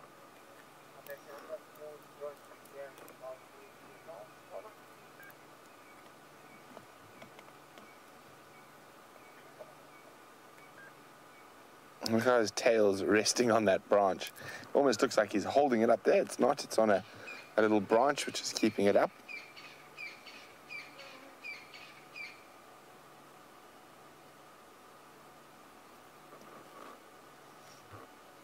Does make him look slightly less asleep, but uh, he is very much snoozing heavily at the moment.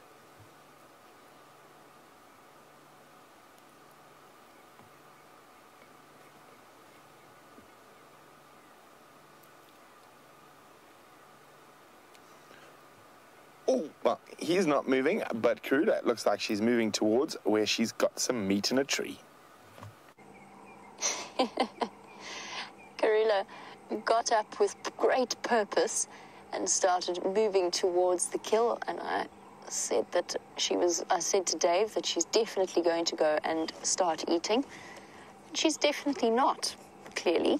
All she did was reposition a little bit on the drainage line wall. Hello, girl. She's giving herself a very thorough cleaning, getting rid of all of the ticks that have been clinging to her fur.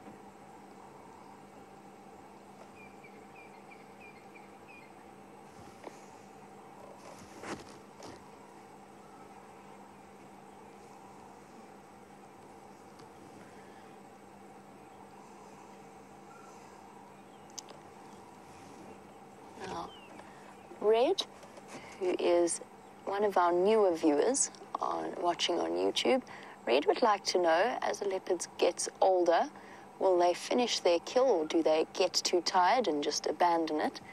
Very much depends on the situation and not so much to do with the leopard's age as to what's happening in its life right at that moment. So most of the time, no, a leopard will not waste a good kill. They will make sure that they return to it as often as possible until they have finished off all that they want, all that they can, at which point they will move on. Sometimes, however, in the space that they might move, say, between their kill and some water to have a drink, they might find that a steenbok crosses their path and they, or a little antelope crosses their path and they grab that and decide to feed on that instead. For example, the last kill that Karula abandoned was the duiker that we know of. There was the duiker up in the Jackalberry close by Buffelshoek Dam, mm, catching flies. And that was due to the fact that she heard Tingana and Thandi mating. Getting ready to spring into action there. Good scratch at the back of the neck. But yes, it was because she heard the, her daughter mating with Tingana in the center of her territory. And funnily enough, she wasn't terribly impressed with that, especially since she was heavily pregnant at the time and a couple of days away from giving birth. It depends more on the circumstances than the leopard's age.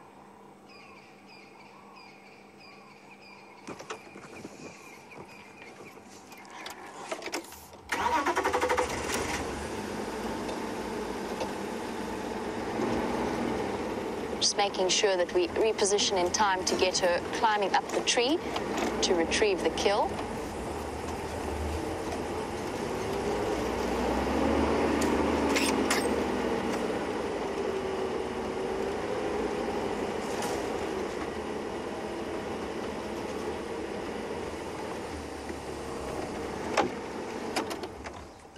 All right, girl.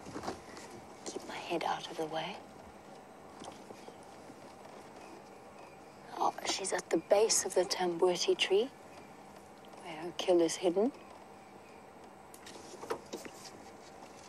Let's see how she decides to approach this. I think it's best for us to just stay here.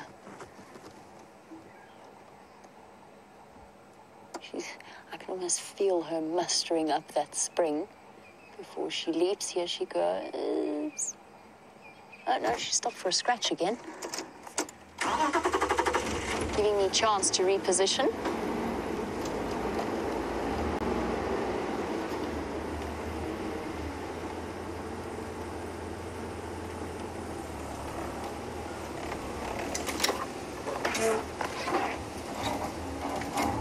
Sorry, Dave, you're gonna have to be backwards. You good?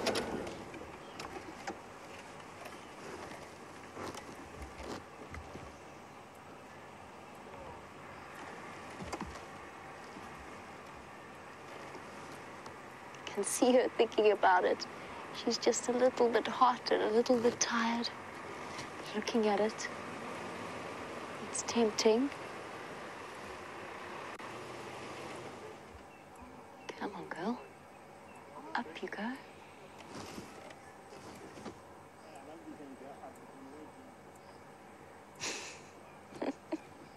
the suspense.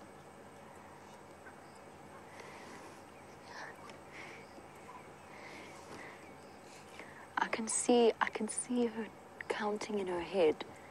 I'm gonna jump on three. One, two, okay, no, maybe not. Actually, I'm still a little bit hot and still a little bit tired. And maybe I've just changed my mind. I think I'm gonna go to the most difficult spot on the top of the drainage line and lie down there.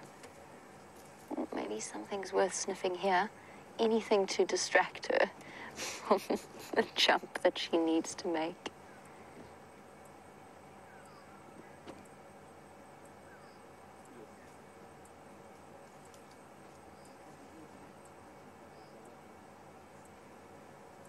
What is she investigating up there?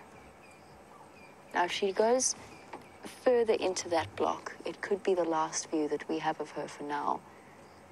Just because there's no way we will be able to get up there to join her. And by the time we get around, she'll probably have come back down into the drainage line again.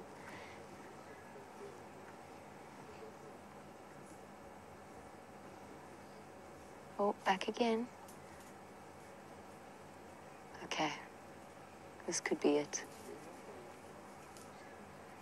She just took herself aside to have a stern talking to. Don't worry, Karula. It looks like a daunting jump to me, too.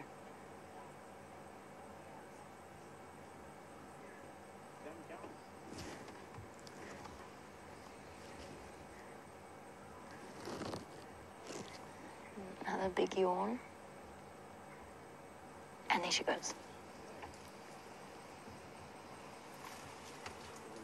I think she's going to take it down.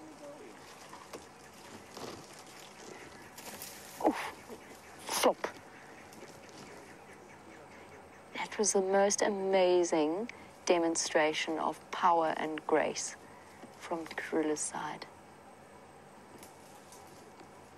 Oh. And there she goes.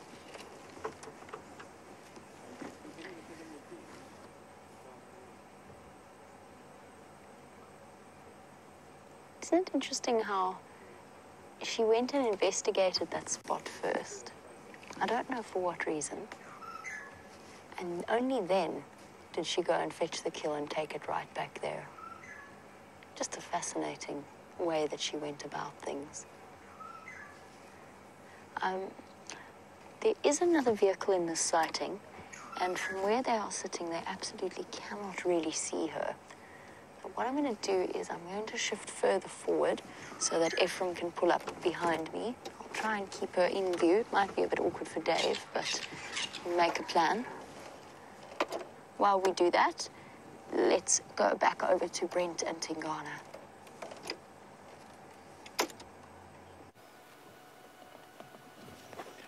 So he's rolled over again.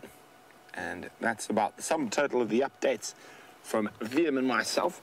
But we are getting quite positive that as it gets cooler, he's hopefully going to get moving.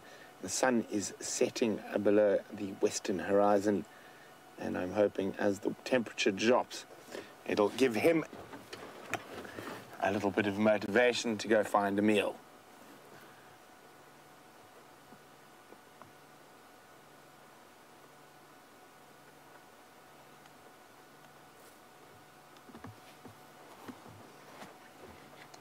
So very, very beautiful. The sun is not quite dipping below, but it will in the next couple of minutes. And uh, I think what we'll do is we're not going to go too far, but I don't think he's going to move in the next two minutes. So let's go have a quick look at that gorgeous sunset.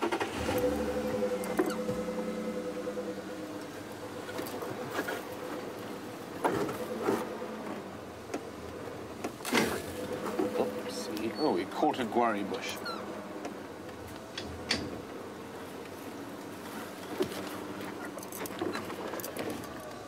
Hello, big boy. Sorry about that. Well, I'll, I'll Jack caught a guarri bush as we went past and just made a little bit of noise.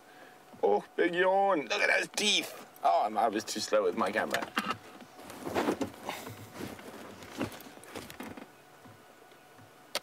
Okay, well, he has started that little bit of grooming, which is always a good sign that maybe our little accidental rattle of the bush might have spiked him into movement.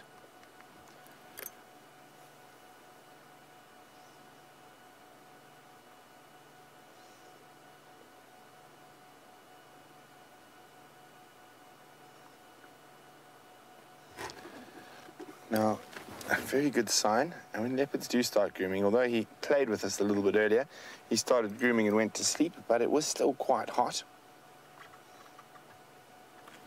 Oh, another yawn on the way. Sniffing the wind.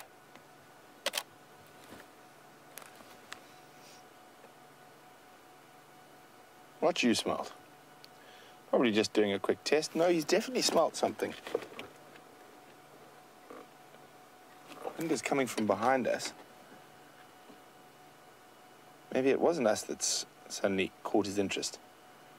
I wonder if it's another male leopard. Well, not too perturbed. Back to licking. We're not that far from where we had that unrelaxed male uh, yesterday and this morning. And he, I'm pretty sure he has been around chasing him this morning.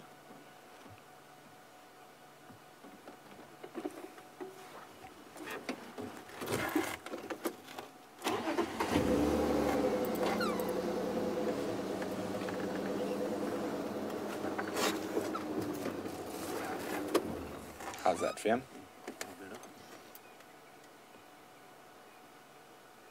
You can see there's a big tick behind his ear there.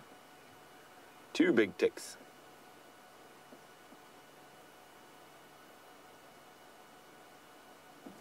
Oh, tail cleaning time. Got a perfect little rest to put his tail on while he gives it a good lick and a bit of a de-flea, de-tick.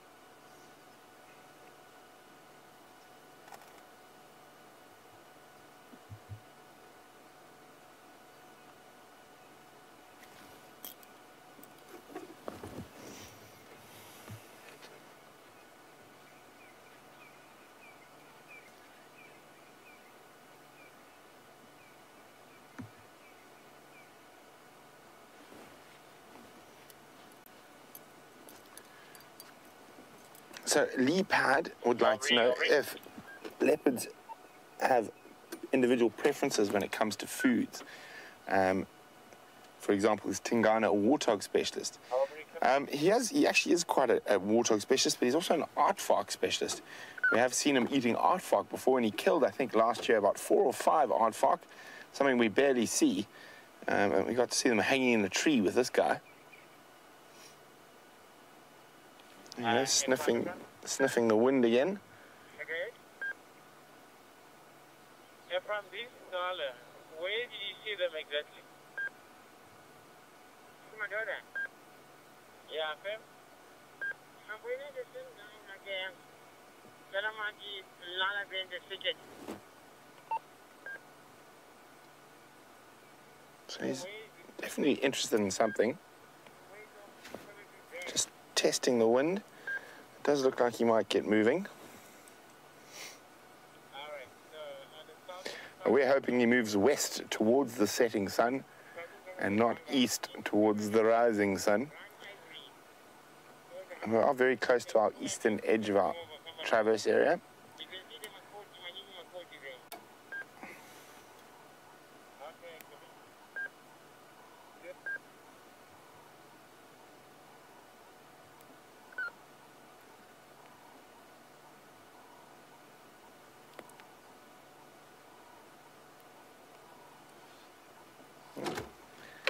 Grooming away.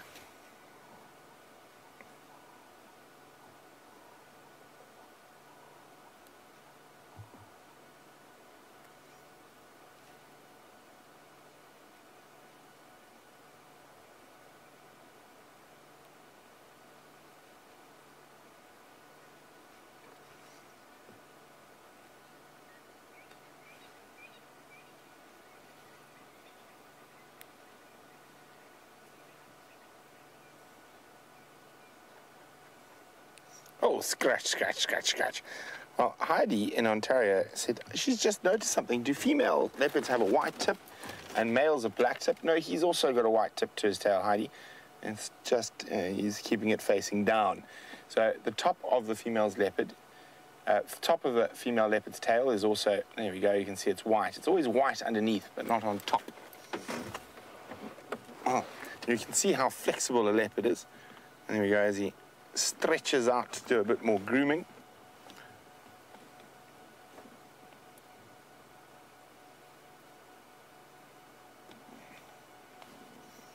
And you can see those muscles rippling under that back leg. Uh, It's almost flexing for us. He does have a bit of a bodybuilder frame, old Mr. Tingana.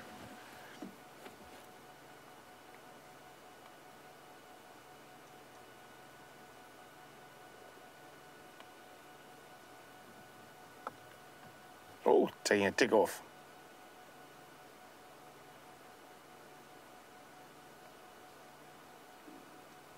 Now, is it time? No, not yet.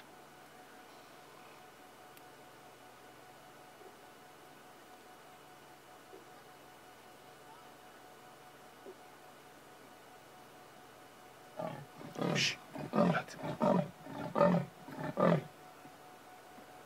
Listen to that. Awesome. So he has been chasing other males up and down.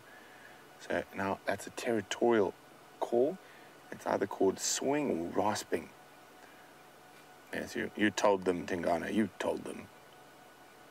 So he's letting all the other leopards in the area know that he is the dominant male here.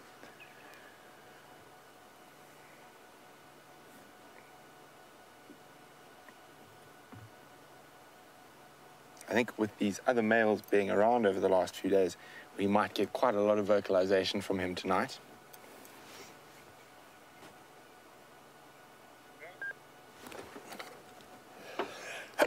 Oh, excuse me. Standing by, Ephraim.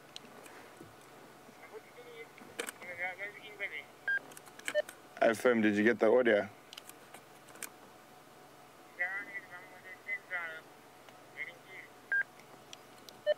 Copy, keep coming. Uh, you'll see my mobile. We're right next to the road on Central, just past, uh, just to the east of uh, junction with Drakensberg.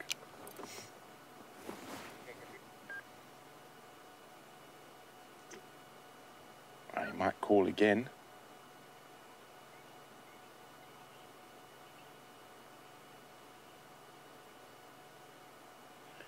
Listening to see if there's any replies to his challenge.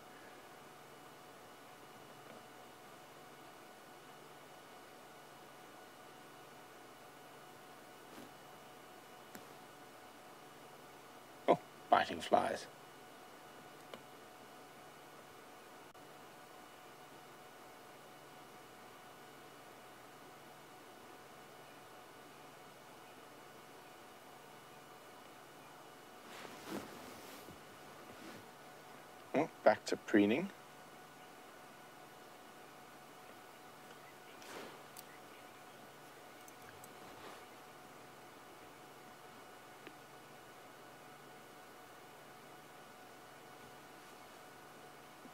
No, don't go that way. Let's move back slightly.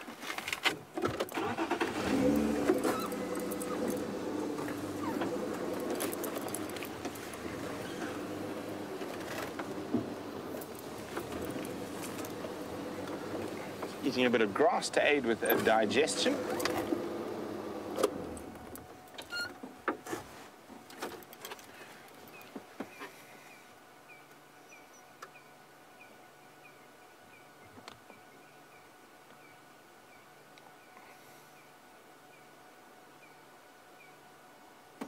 Now, which way will he go? That is the question.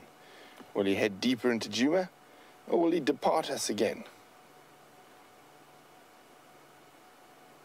It always does look strange when you see a big cat eating grass.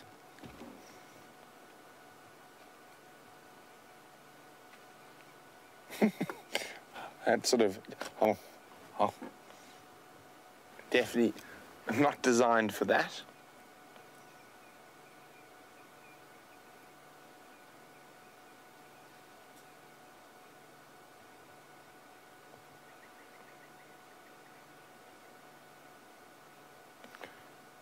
Uh, while we wait for him to get moving, let's jump back with Jamie and Karula. How lucky are we? One leopard calling right next to the vehicle, the other consuming her meal from the safety of the long grass on the top of the drainage line wall. Dave and myself have just been sitting enjoying the peace and tranquility that this drainage line provides. It's wonderfully quiet down here, and yet at the same time, there's all kinds of bird life that's come fluttering through. And of course, all accompanied to the sound of a very ravenous mom. Oh. Which way are we going to go, girl? Okay. Mm. Perfect. Great shot. I was going to say accompanied by the ravenous sound of the mom devouring her nyala kill. Let's see if we um I think that's going to be as good as we get. No, girl. How's that nyala going down? Because it is a young nyala, the bones are still incredibly soft when compared to that of an adult. And you'll find that with all baby antelope, leopards are quite capable of eating the entire carcass from nose to tail, including sometimes the hooves. Sometimes they need to cough those back up and bring them back up, which is one thing that Tingana might be trying to do with his current appetizing dinner of grass blades. I've seen Karula devour an entire steenbok, leaving nothing behind but a piece of the lower jaw. And she's been caring for two young leopard cubs that have teeth coming through and learning to use their claws and will be alert enough now to be playing. So I'm sure that she's feeling absolutely exhausted and is really enjoying a meal all to herself. In the peace and tranquil, a relative peace and tranquility away from the youngsters. She's certainly not holding back when it comes to this meal. I'm trying to decide if moving slightly further forward will improve our view or completely ruin it. I think we'll stick with the view that we that we have for now.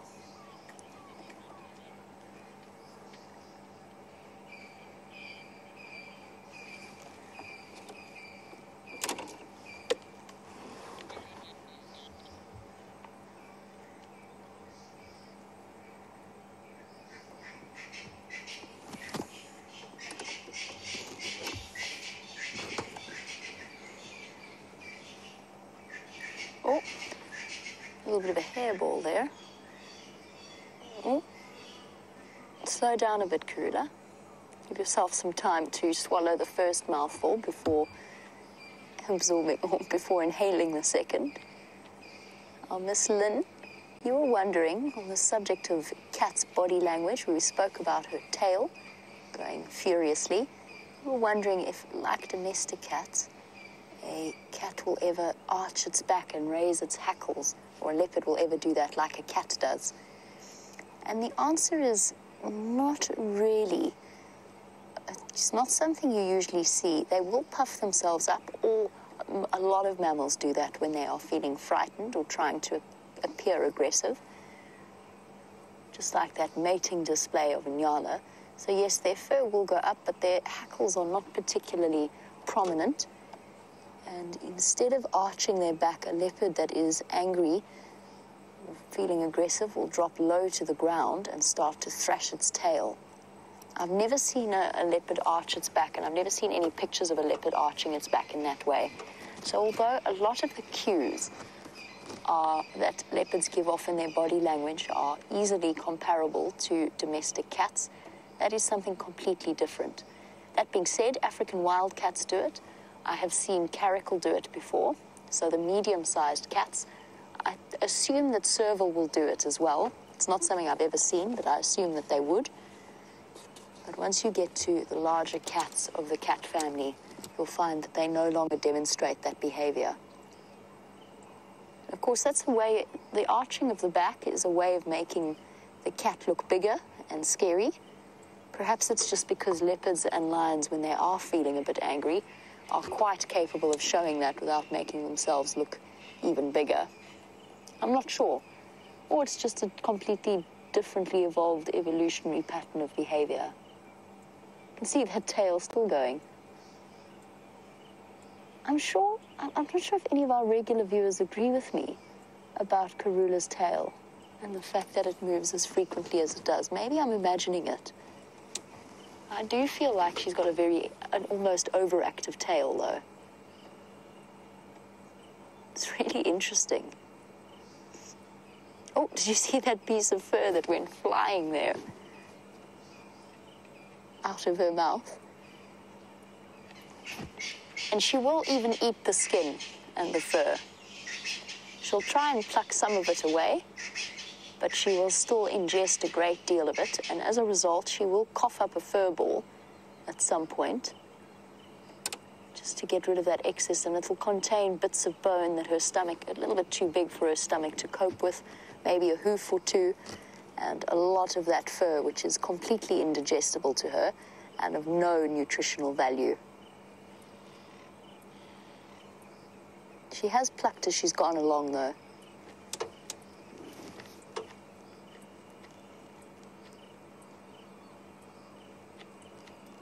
This is actually a lovely view through the bright green leaves.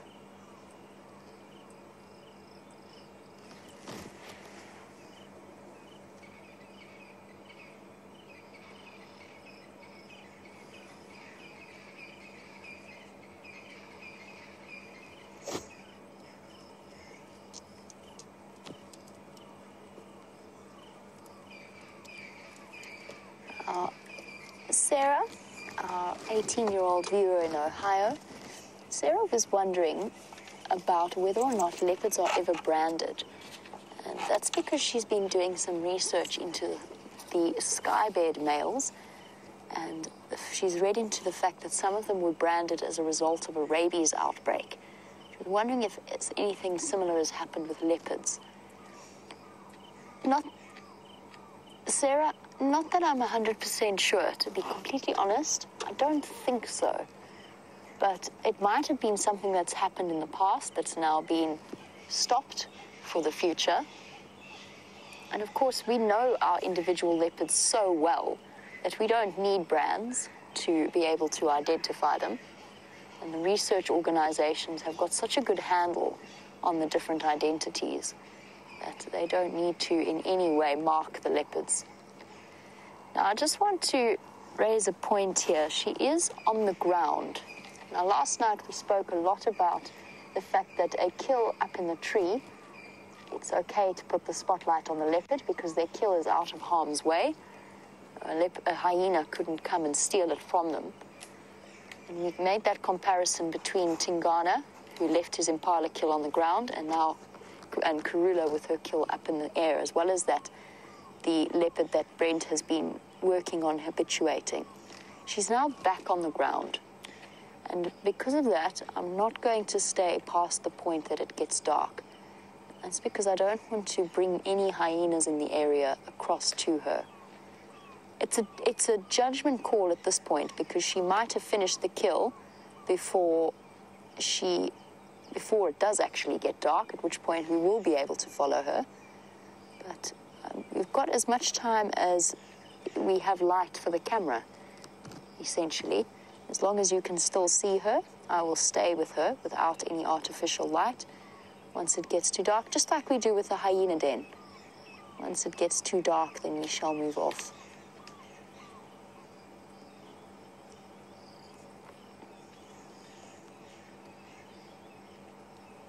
I'll also let the other vehicles in the area know that her kill is back on the ground and that the sighting is therefore closed until she leaves this area.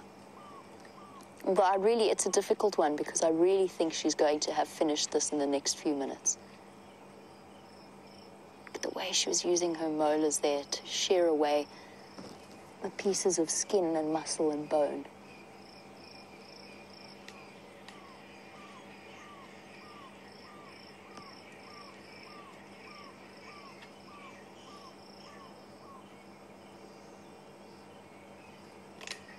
Ooh, he's got to a particularly crunchy bit.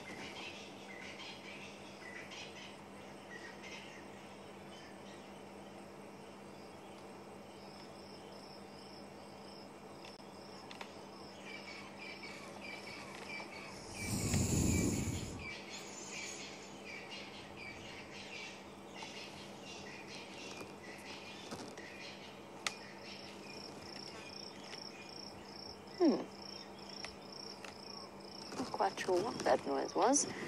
But Survey, you were wondering a bit about the layout of a leopard's teeth. And it's such a pity, Survey. I don't have the picture in my book of the leopard skull.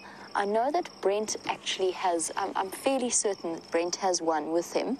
So perhaps we can pass that question on to him as well. But I will give you, to the sort of the best of my understanding, the layout of a leopard's teeth. Unlike us, they've actually got six incisors in the front of their mouths, unlike our four. So six at the top, six at the bottom. Then obviously the four canine teeth, and then three molars on the top, three molars on each side, and then three molars at the bottom. And the back molars in particular are particularly well developed and deeply rooted close to the jaw, the, lower and the upper jaw, in order to create that shearing like surface that allows them to crunch through bone and muscle like this. Uh, quite a different structure to our own teeth. Our teeth have the ridges on our molars are relatively flat. So we've got grinding surfaces and less of that cutting surface, even though we do have ridges on our teeth themselves. They're not nearly as pronounced as they are in a leopard. And I'm just triple checking my book. I don't think I have the right book to show you this. I'm just double checking. No, unfortunately, uh, I don't have the book with the picture of the leopard skull in it. Fingers crossed, Brent does have that with him, and he'll be able to add to my description of the shape of the teeth. Uh, I've had various opportunities to examine leopard and lion skulls, and their teeth are the most phenomenal, cons- phenomenally constructed instruments. I've held a lion's molar before, and the bit that you see sticking out, sorry, not molar, canine. I've held a lion's canine and examined it, and the bit that you see sticking out is less than half of the entire tooth. The rest of that is made up in the root system that holds those canines in place.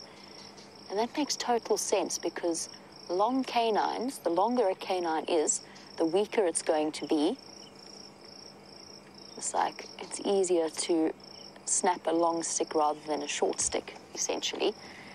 So they need to be very, very securely fastened into a leopard's jaw.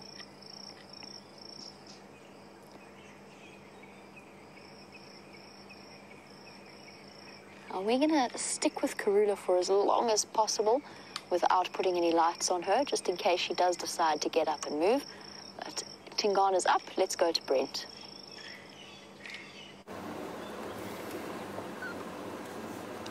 So the moment we've all been waiting for for many hours on today's sunset safari. Tingana on the move. Now, as he got moving, he actually sawed again, so oh, that wonderful sound. There we go. He's going to scent mark for you.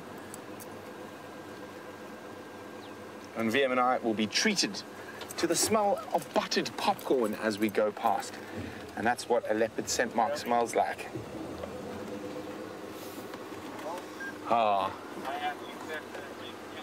buttered popcorn.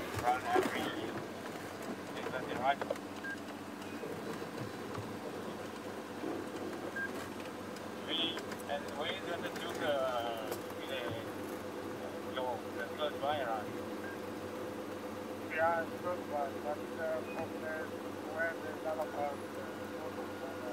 Look at that. He's heading in the right direction.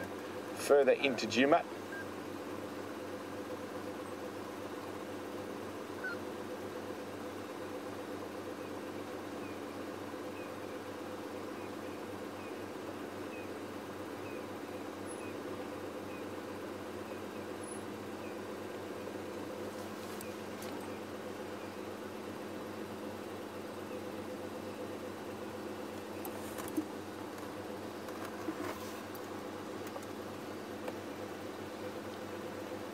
Some more scent marking. So leopards, unlike lions, will often call when they're on the move. So call while they are walking. The lions will generally stop and be stationary when they call.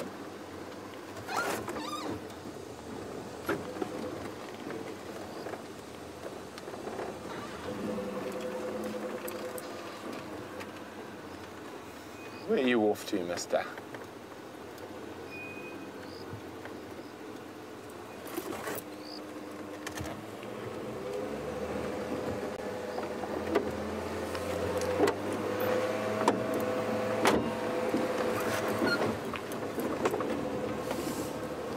At that. Sky, leopard.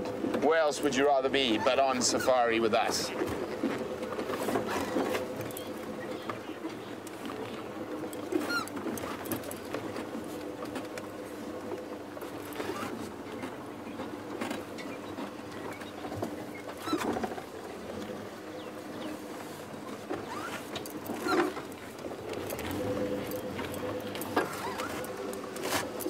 Who's watching on YouTube, and I did mention Tingana looks a little bit peckish, was wondering whether he might steal a Karula's kill.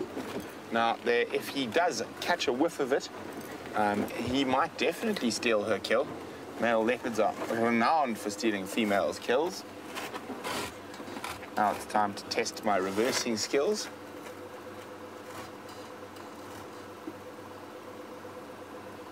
Another little mark. I've almost got my finger on the ignition to turn it off in case he starts calling. And we'll be able to get the full blast directly at us.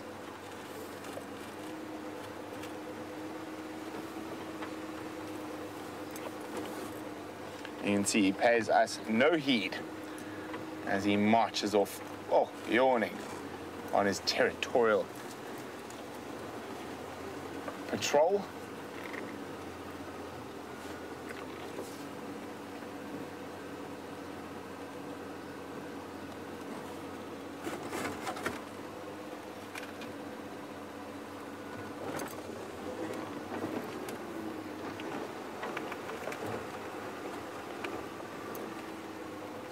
So AJ is wondering, will Tingana and Karula meet?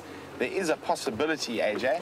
Um, And if it does happen, she, he might steal her kill. Oh, he's listening. There's hyenas calling in the distance. But they have met many times before, and they've mated many times before. So there's even a poss- there's a strong possibility that Karula's current litter of cubs was fathered by him.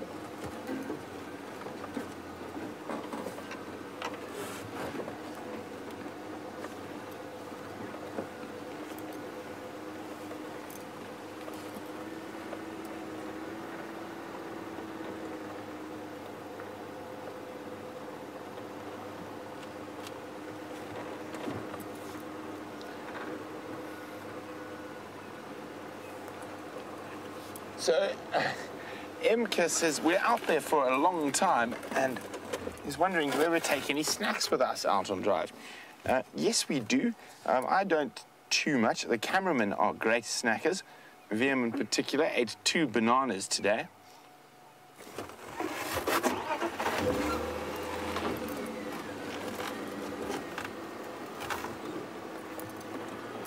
I'm just going to let him walk past us and you'll see how close he comes to the vehicle, and we're going to follow behind for a bit because I want to see if we can get that spectacular sky behind him for a little while.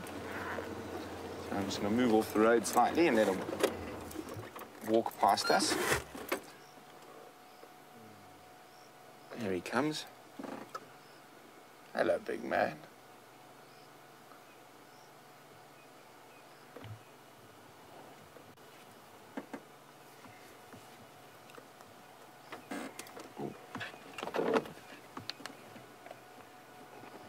How close he is to the vehicle. Right next to us. Isn't that incredible? Okay, can you just turn around quickly? He stopped. Oh, he said sorry. There he goes.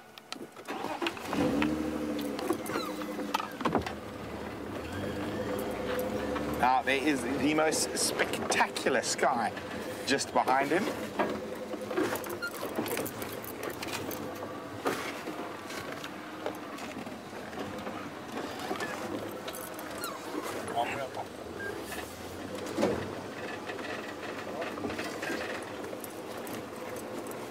Now, this road is going to turn off into that colour shortly.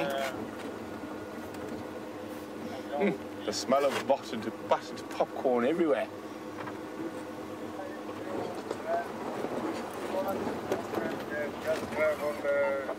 Eastern side of the. Yeah, you can see that sky behind him, isn't it pen, it's not spectacular? very fast. It must be 80 or 100 meters. Oh, fuck. Hi, yeah, to be thanks. I'm not finding it in the island. Most people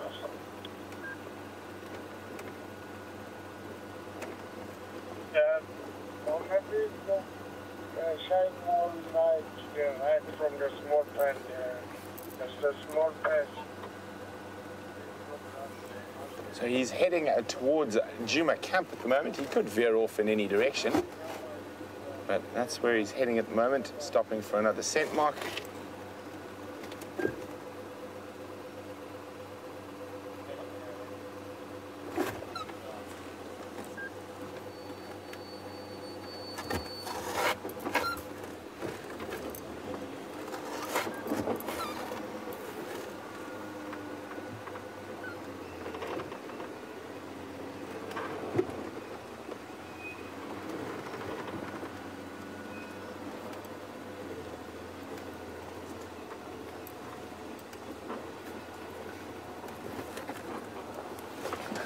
Well, uh, Vera in Ohio has got a question for both Jamie and myself. She says, now that we have settled and have decided to live in South Africa, um, do we know how to speak the language? Uh, well, interestingly enough, we are both South African. So um, we were born in South Africa. We're from South Africa. Um, so we can speak the language. Uh, the official language of the country is English. We do have 11 official languages, which is quite incredible. And I can speak a bit of some of them. So Vera, let's see if you can speak any Xhosa. So Vera, I want you to practice uh, saying a very, very lovely little phrase. It is Ning. So it is Ning. Now that means I can only speak a little bit of Xhosa, and it's one of the hardest things to say in the language. It is Osis Ning. I can speak uh, a bit, a bit of Shangaan and a bit of Zulu, uh, a bit of Swahili.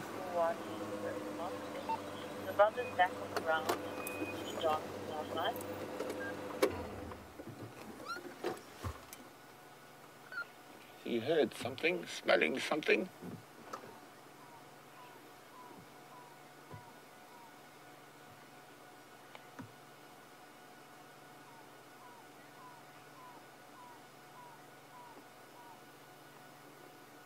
So Barbara says she gets a little bit scared when the leopards walk past the car, but Shannon says it's awesome. I agree with you, Shannon. Vim, were you scared? Mm-mm. Vim also loves it. And I think he's smelling something there. We can't really see. He's gone to little thicket.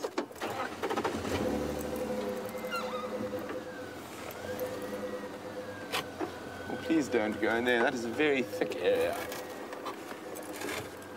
He's maybe heard something, or smelt something in this thicket here.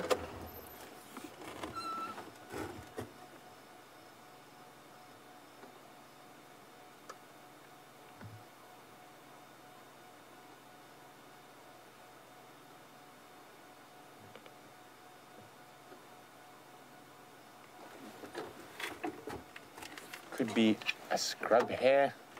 Could be a spot where civets decided to spend the, the daytime. He's definitely picked up on something. He's just sniffing at the moment. Try using the floodlight instead. Yep.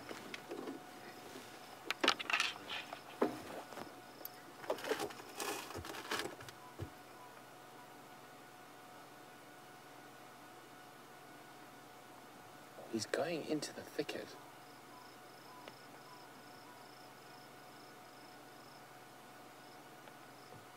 I wonder what's in there.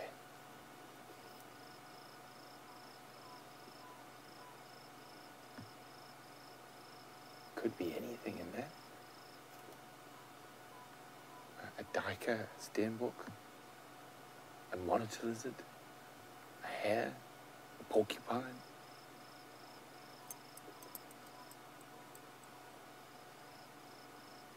No, he's decided not that interesting. He's not going to risk putting his face into the thorns. Okay, he's going to come so close to me now. He's probably now less than a foot from me. Okay, some thorns there. Keep very still, Vim. Doesn't want to push through the thorns. There you go. Hop, skip, and a jump. So, unfortunately, when they do get that close, you don't want to move the car when he's that close. It might give him a fright. So, we just keep very still. And he's still very interested in this thicket, but he's just gone to a different spot in it now. You got him there?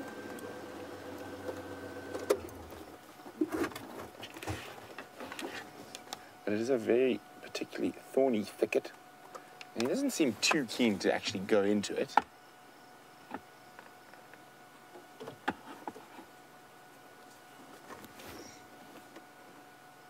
Obviously, he heard something small in there and decided it's worth investigating.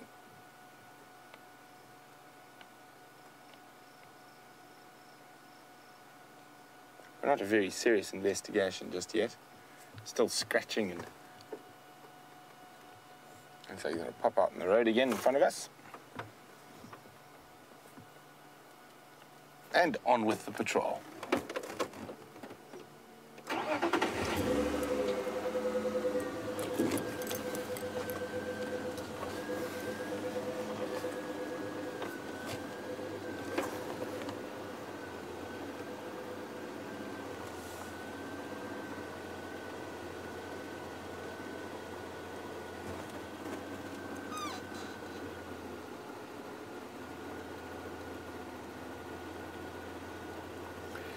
Mary Beth in St. Catharines, Ontario, is wondering do any of our big cats have a stinky urine spray like their tomcats? Well, no, not nearly as stinky as a house cat. Uh, leopard have a particularly pleasant one. As I said, it smells like buttered popcorn.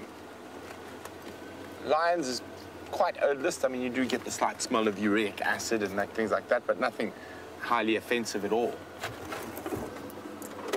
Smelling the air again.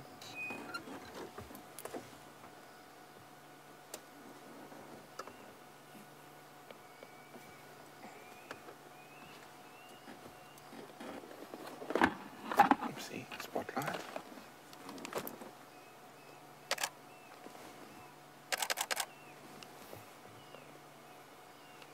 Yep. Checking. Off he continues. So we're heading towards the little river system that comes out of the Buffelshoek Dam. And there's always a good chance there could be some Inyala and bushbuck around there. But it's still a little bit further on. Now, if he does start stalking prey at night, I'll have to switch off the lights and sit in the dark because we don't want to affect it in his favor or uh, in the Inyala or Impala's favor or whatever he might stalk.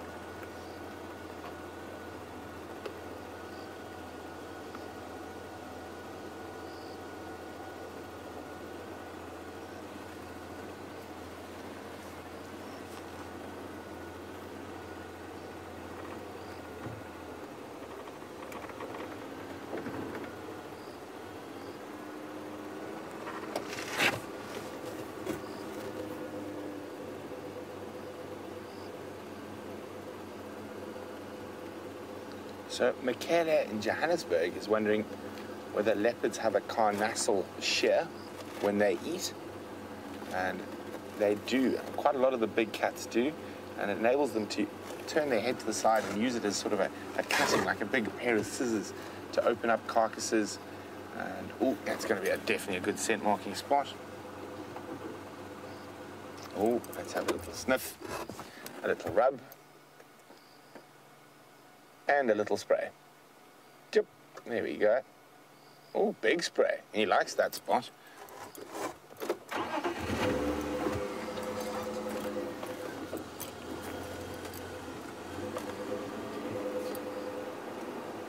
You can still see that color just fading above.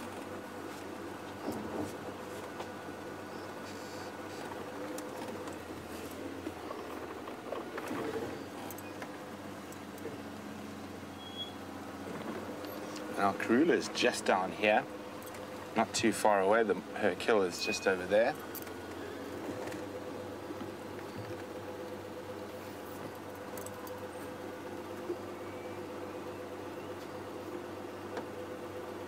So we're approaching that little river system now.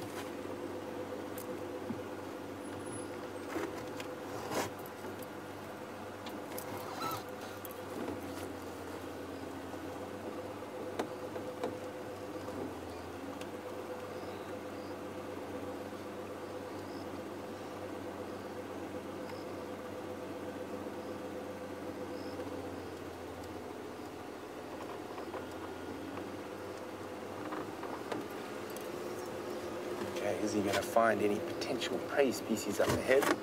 Well, first we're going to have a scratch.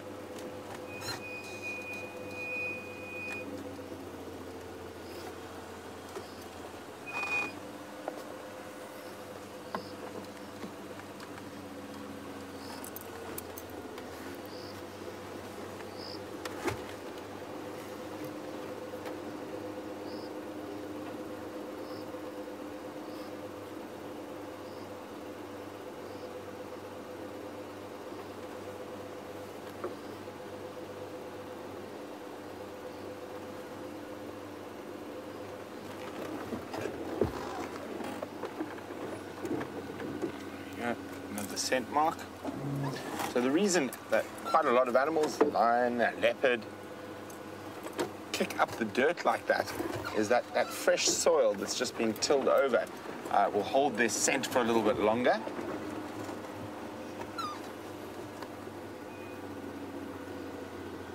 And is, isn't this magnificent, following a male leopard as the darkness settles. It is going to be a stunning evening. Hopefully, for his sake, he'll catch something to eat.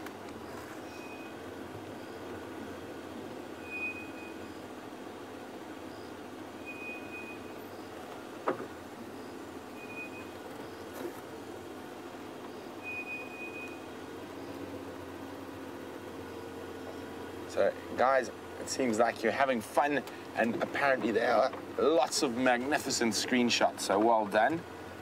Keep posting them, keep sharing them. Just remember the hashtag Safari Live.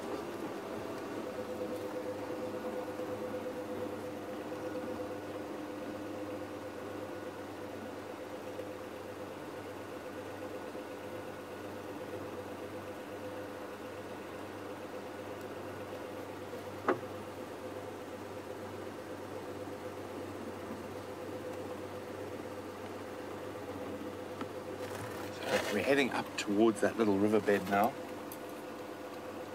You might take a shortcut, but we can't. He- I think he's going to go straight through here. We're going to loop around him. Hopefully he doesn't deviate into the drainage system where we can't follow him. Let's quickly shoot around.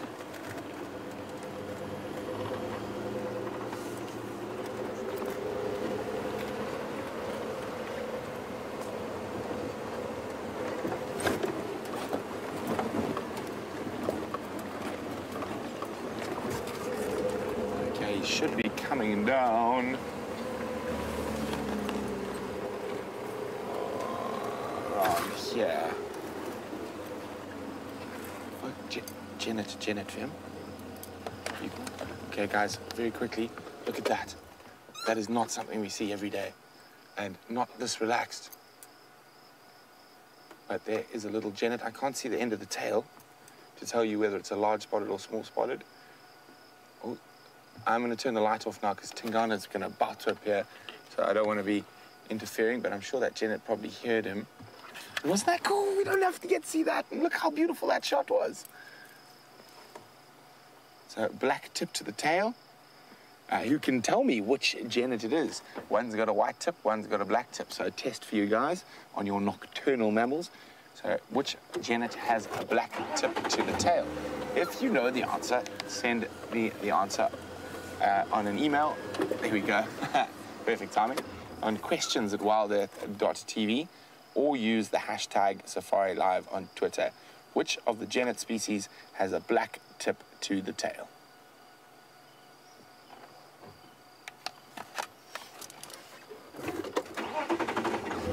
Oh, thankfully, he didn't veer off down the drainage or river system. He's keeping on the road. He really does like this route. We've seen him use it multiple times in both directions. There you go, scent mark again.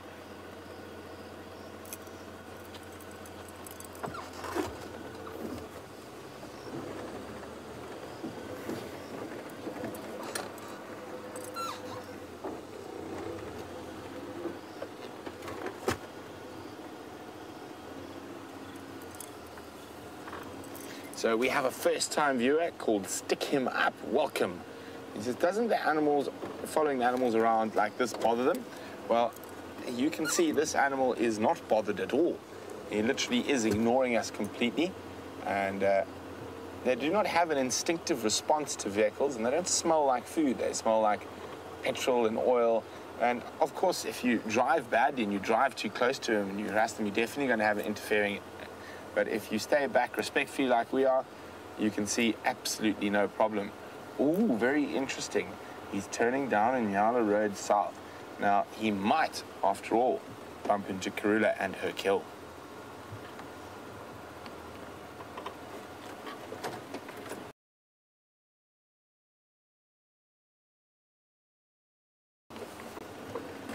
Just got to be on the Game Drive radio for a second stations to go and now mobile south on Nyala Road South.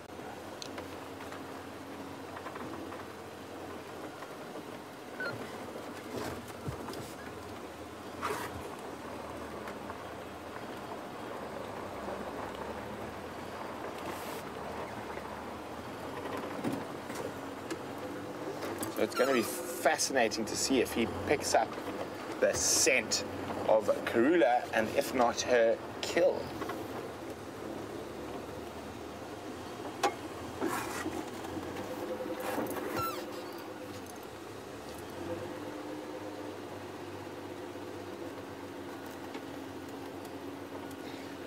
Now, survey on YouTube said, was that a Servaline genet? Unfortunately, we don't get Servaline genet here. Um, I have seen them in the rainforests of Gabon, but uh, we only get two species of here. One is a large spotted, one is a small spotted, and one of them has a black tip to the tail. So which one is it uh, that we saw today? Uh, beautiful sighting, definitely the best genet sighting I've had since I have been here. Okay, looks like he might go off road here.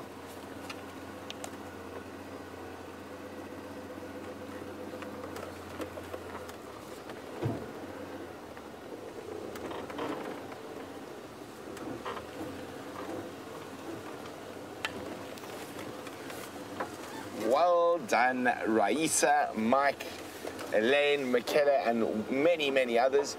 You are spot on correct. That was indeed a large spotted genet. So the small spotted genet has a white tip to the tail. I'm just going to move this light quickly. There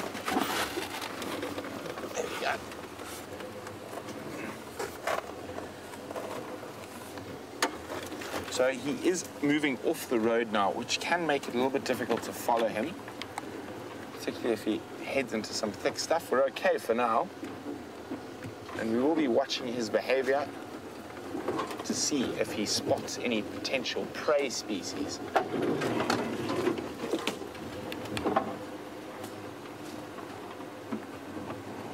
Which he has. And I spotted them at the exact same time. And you can see him there. I'm about to turn off the light as well. You can see he's I will take a flash, but now if we have a look with me, Vim, no, no, no, we're going to go look, look in front. So there's the leopard. And if we do this, just very quickly, there's a Minyala just ahead of us. So now, unfortunately, it's lights off. And as I said, we don't want to interfere. So if we kept the light too long on the Inyala, it would blind them temporarily, making them a really easy target for the leopard. If we kept the light on the leopard, it would make it much easier for the Nyala to see them. So I will use the spotlight, but generally as a quick, look at that, flash every now and then just to check what's going on. And I won't point at the bright bit like this down here.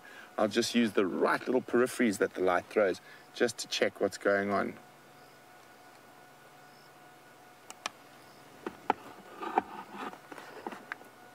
But very exciting. So there's probably about 40 meters between them at the moment. And uh, a leopard generally prefers to make that last dash from about, at best, the best possible is about five meters, but they will sometimes go from a bit further, sort of 10, 8 to 10 meters. Now, in full charge, a leopard does 28, I'm sorry, 24 meters per second. Okay, so just checking what's going on. So you guys just gotta, oh, find my game drive radio. That's the wrong one. Uh, it, uh, we are now moving from Ghana road uh, south. Okay, so where there's a Nyala have moved into this thick area over here, and that's good. He'll he'll like that. He won't like this very big open patch that's in front. He'd prefer that bit a bit of cover. So as an ambush predator, it, it, it does help to have as much cover as possible. And a bit of this greenery at the moment has definitely, definitely helped him. Now, strangely enough, this is about 100 meters from where we found him with that impala on Saturday.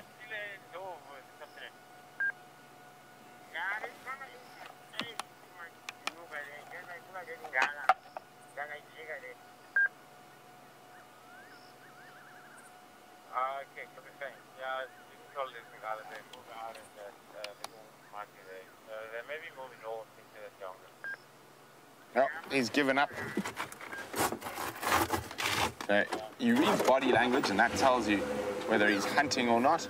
And he's given up. I think those animals might have moved a bit too far, and you can just see he's just walking away normally. He might change his mind and try stalking them again, but those Inyala were on the move when we spotted them.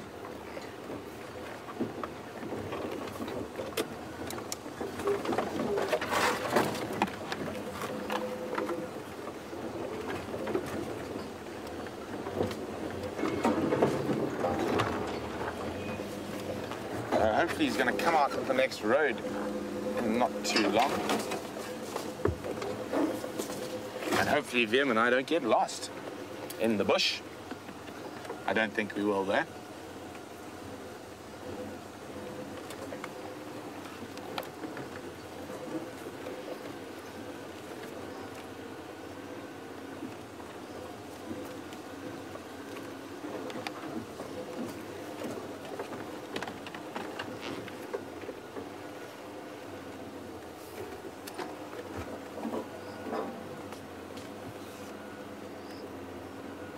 Isn't this spectacular?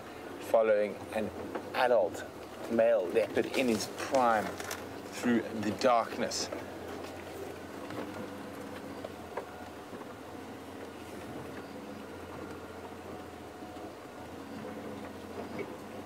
I was really hoping he was going to choose the right-hand road. But no such luck.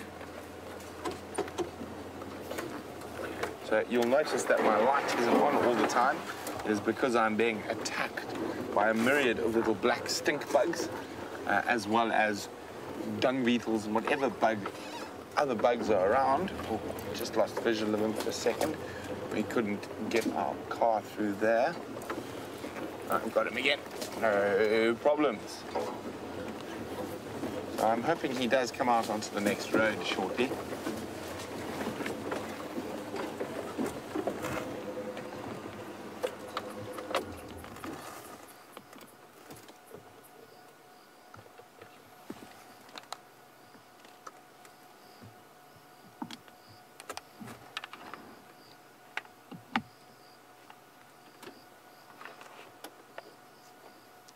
Stopping, listening, and off you guys again.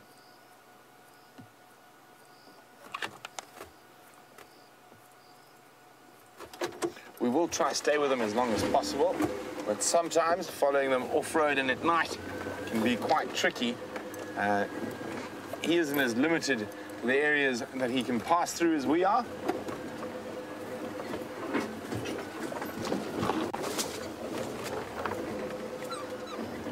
Oh dear. Oh dear. Dear, oh dear. Okay, Vim?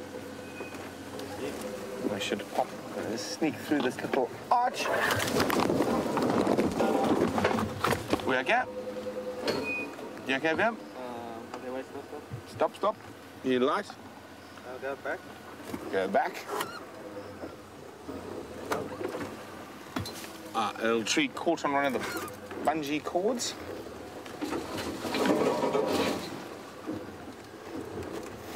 Don't worry, we haven't lost him. And he's we're still on his trail. I think he should be coming up to Vulture's Nest Road shortly, which will make life a little bit easier.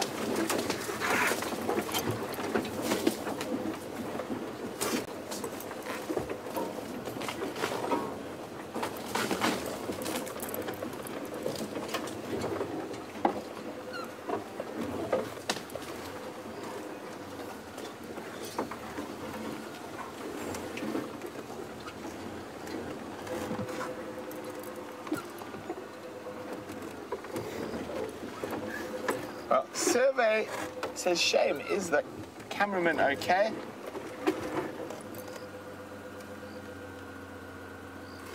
Uh, survey. So I just thought I saw something there. Um, why don't you ask him? Vim, are you okay? There we go. There we go. There's the answer. Vim is right as rain. Sorry? I'll take for blood later. He'll check for blood later. We're far too busy following a leopard for now. But I'm afraid this is not looking promising for us, especially at night.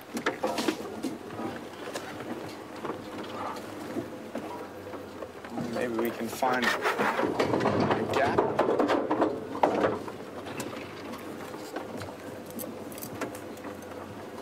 Oh, look at this. He's come back to the exact spot where the lion stole his impala.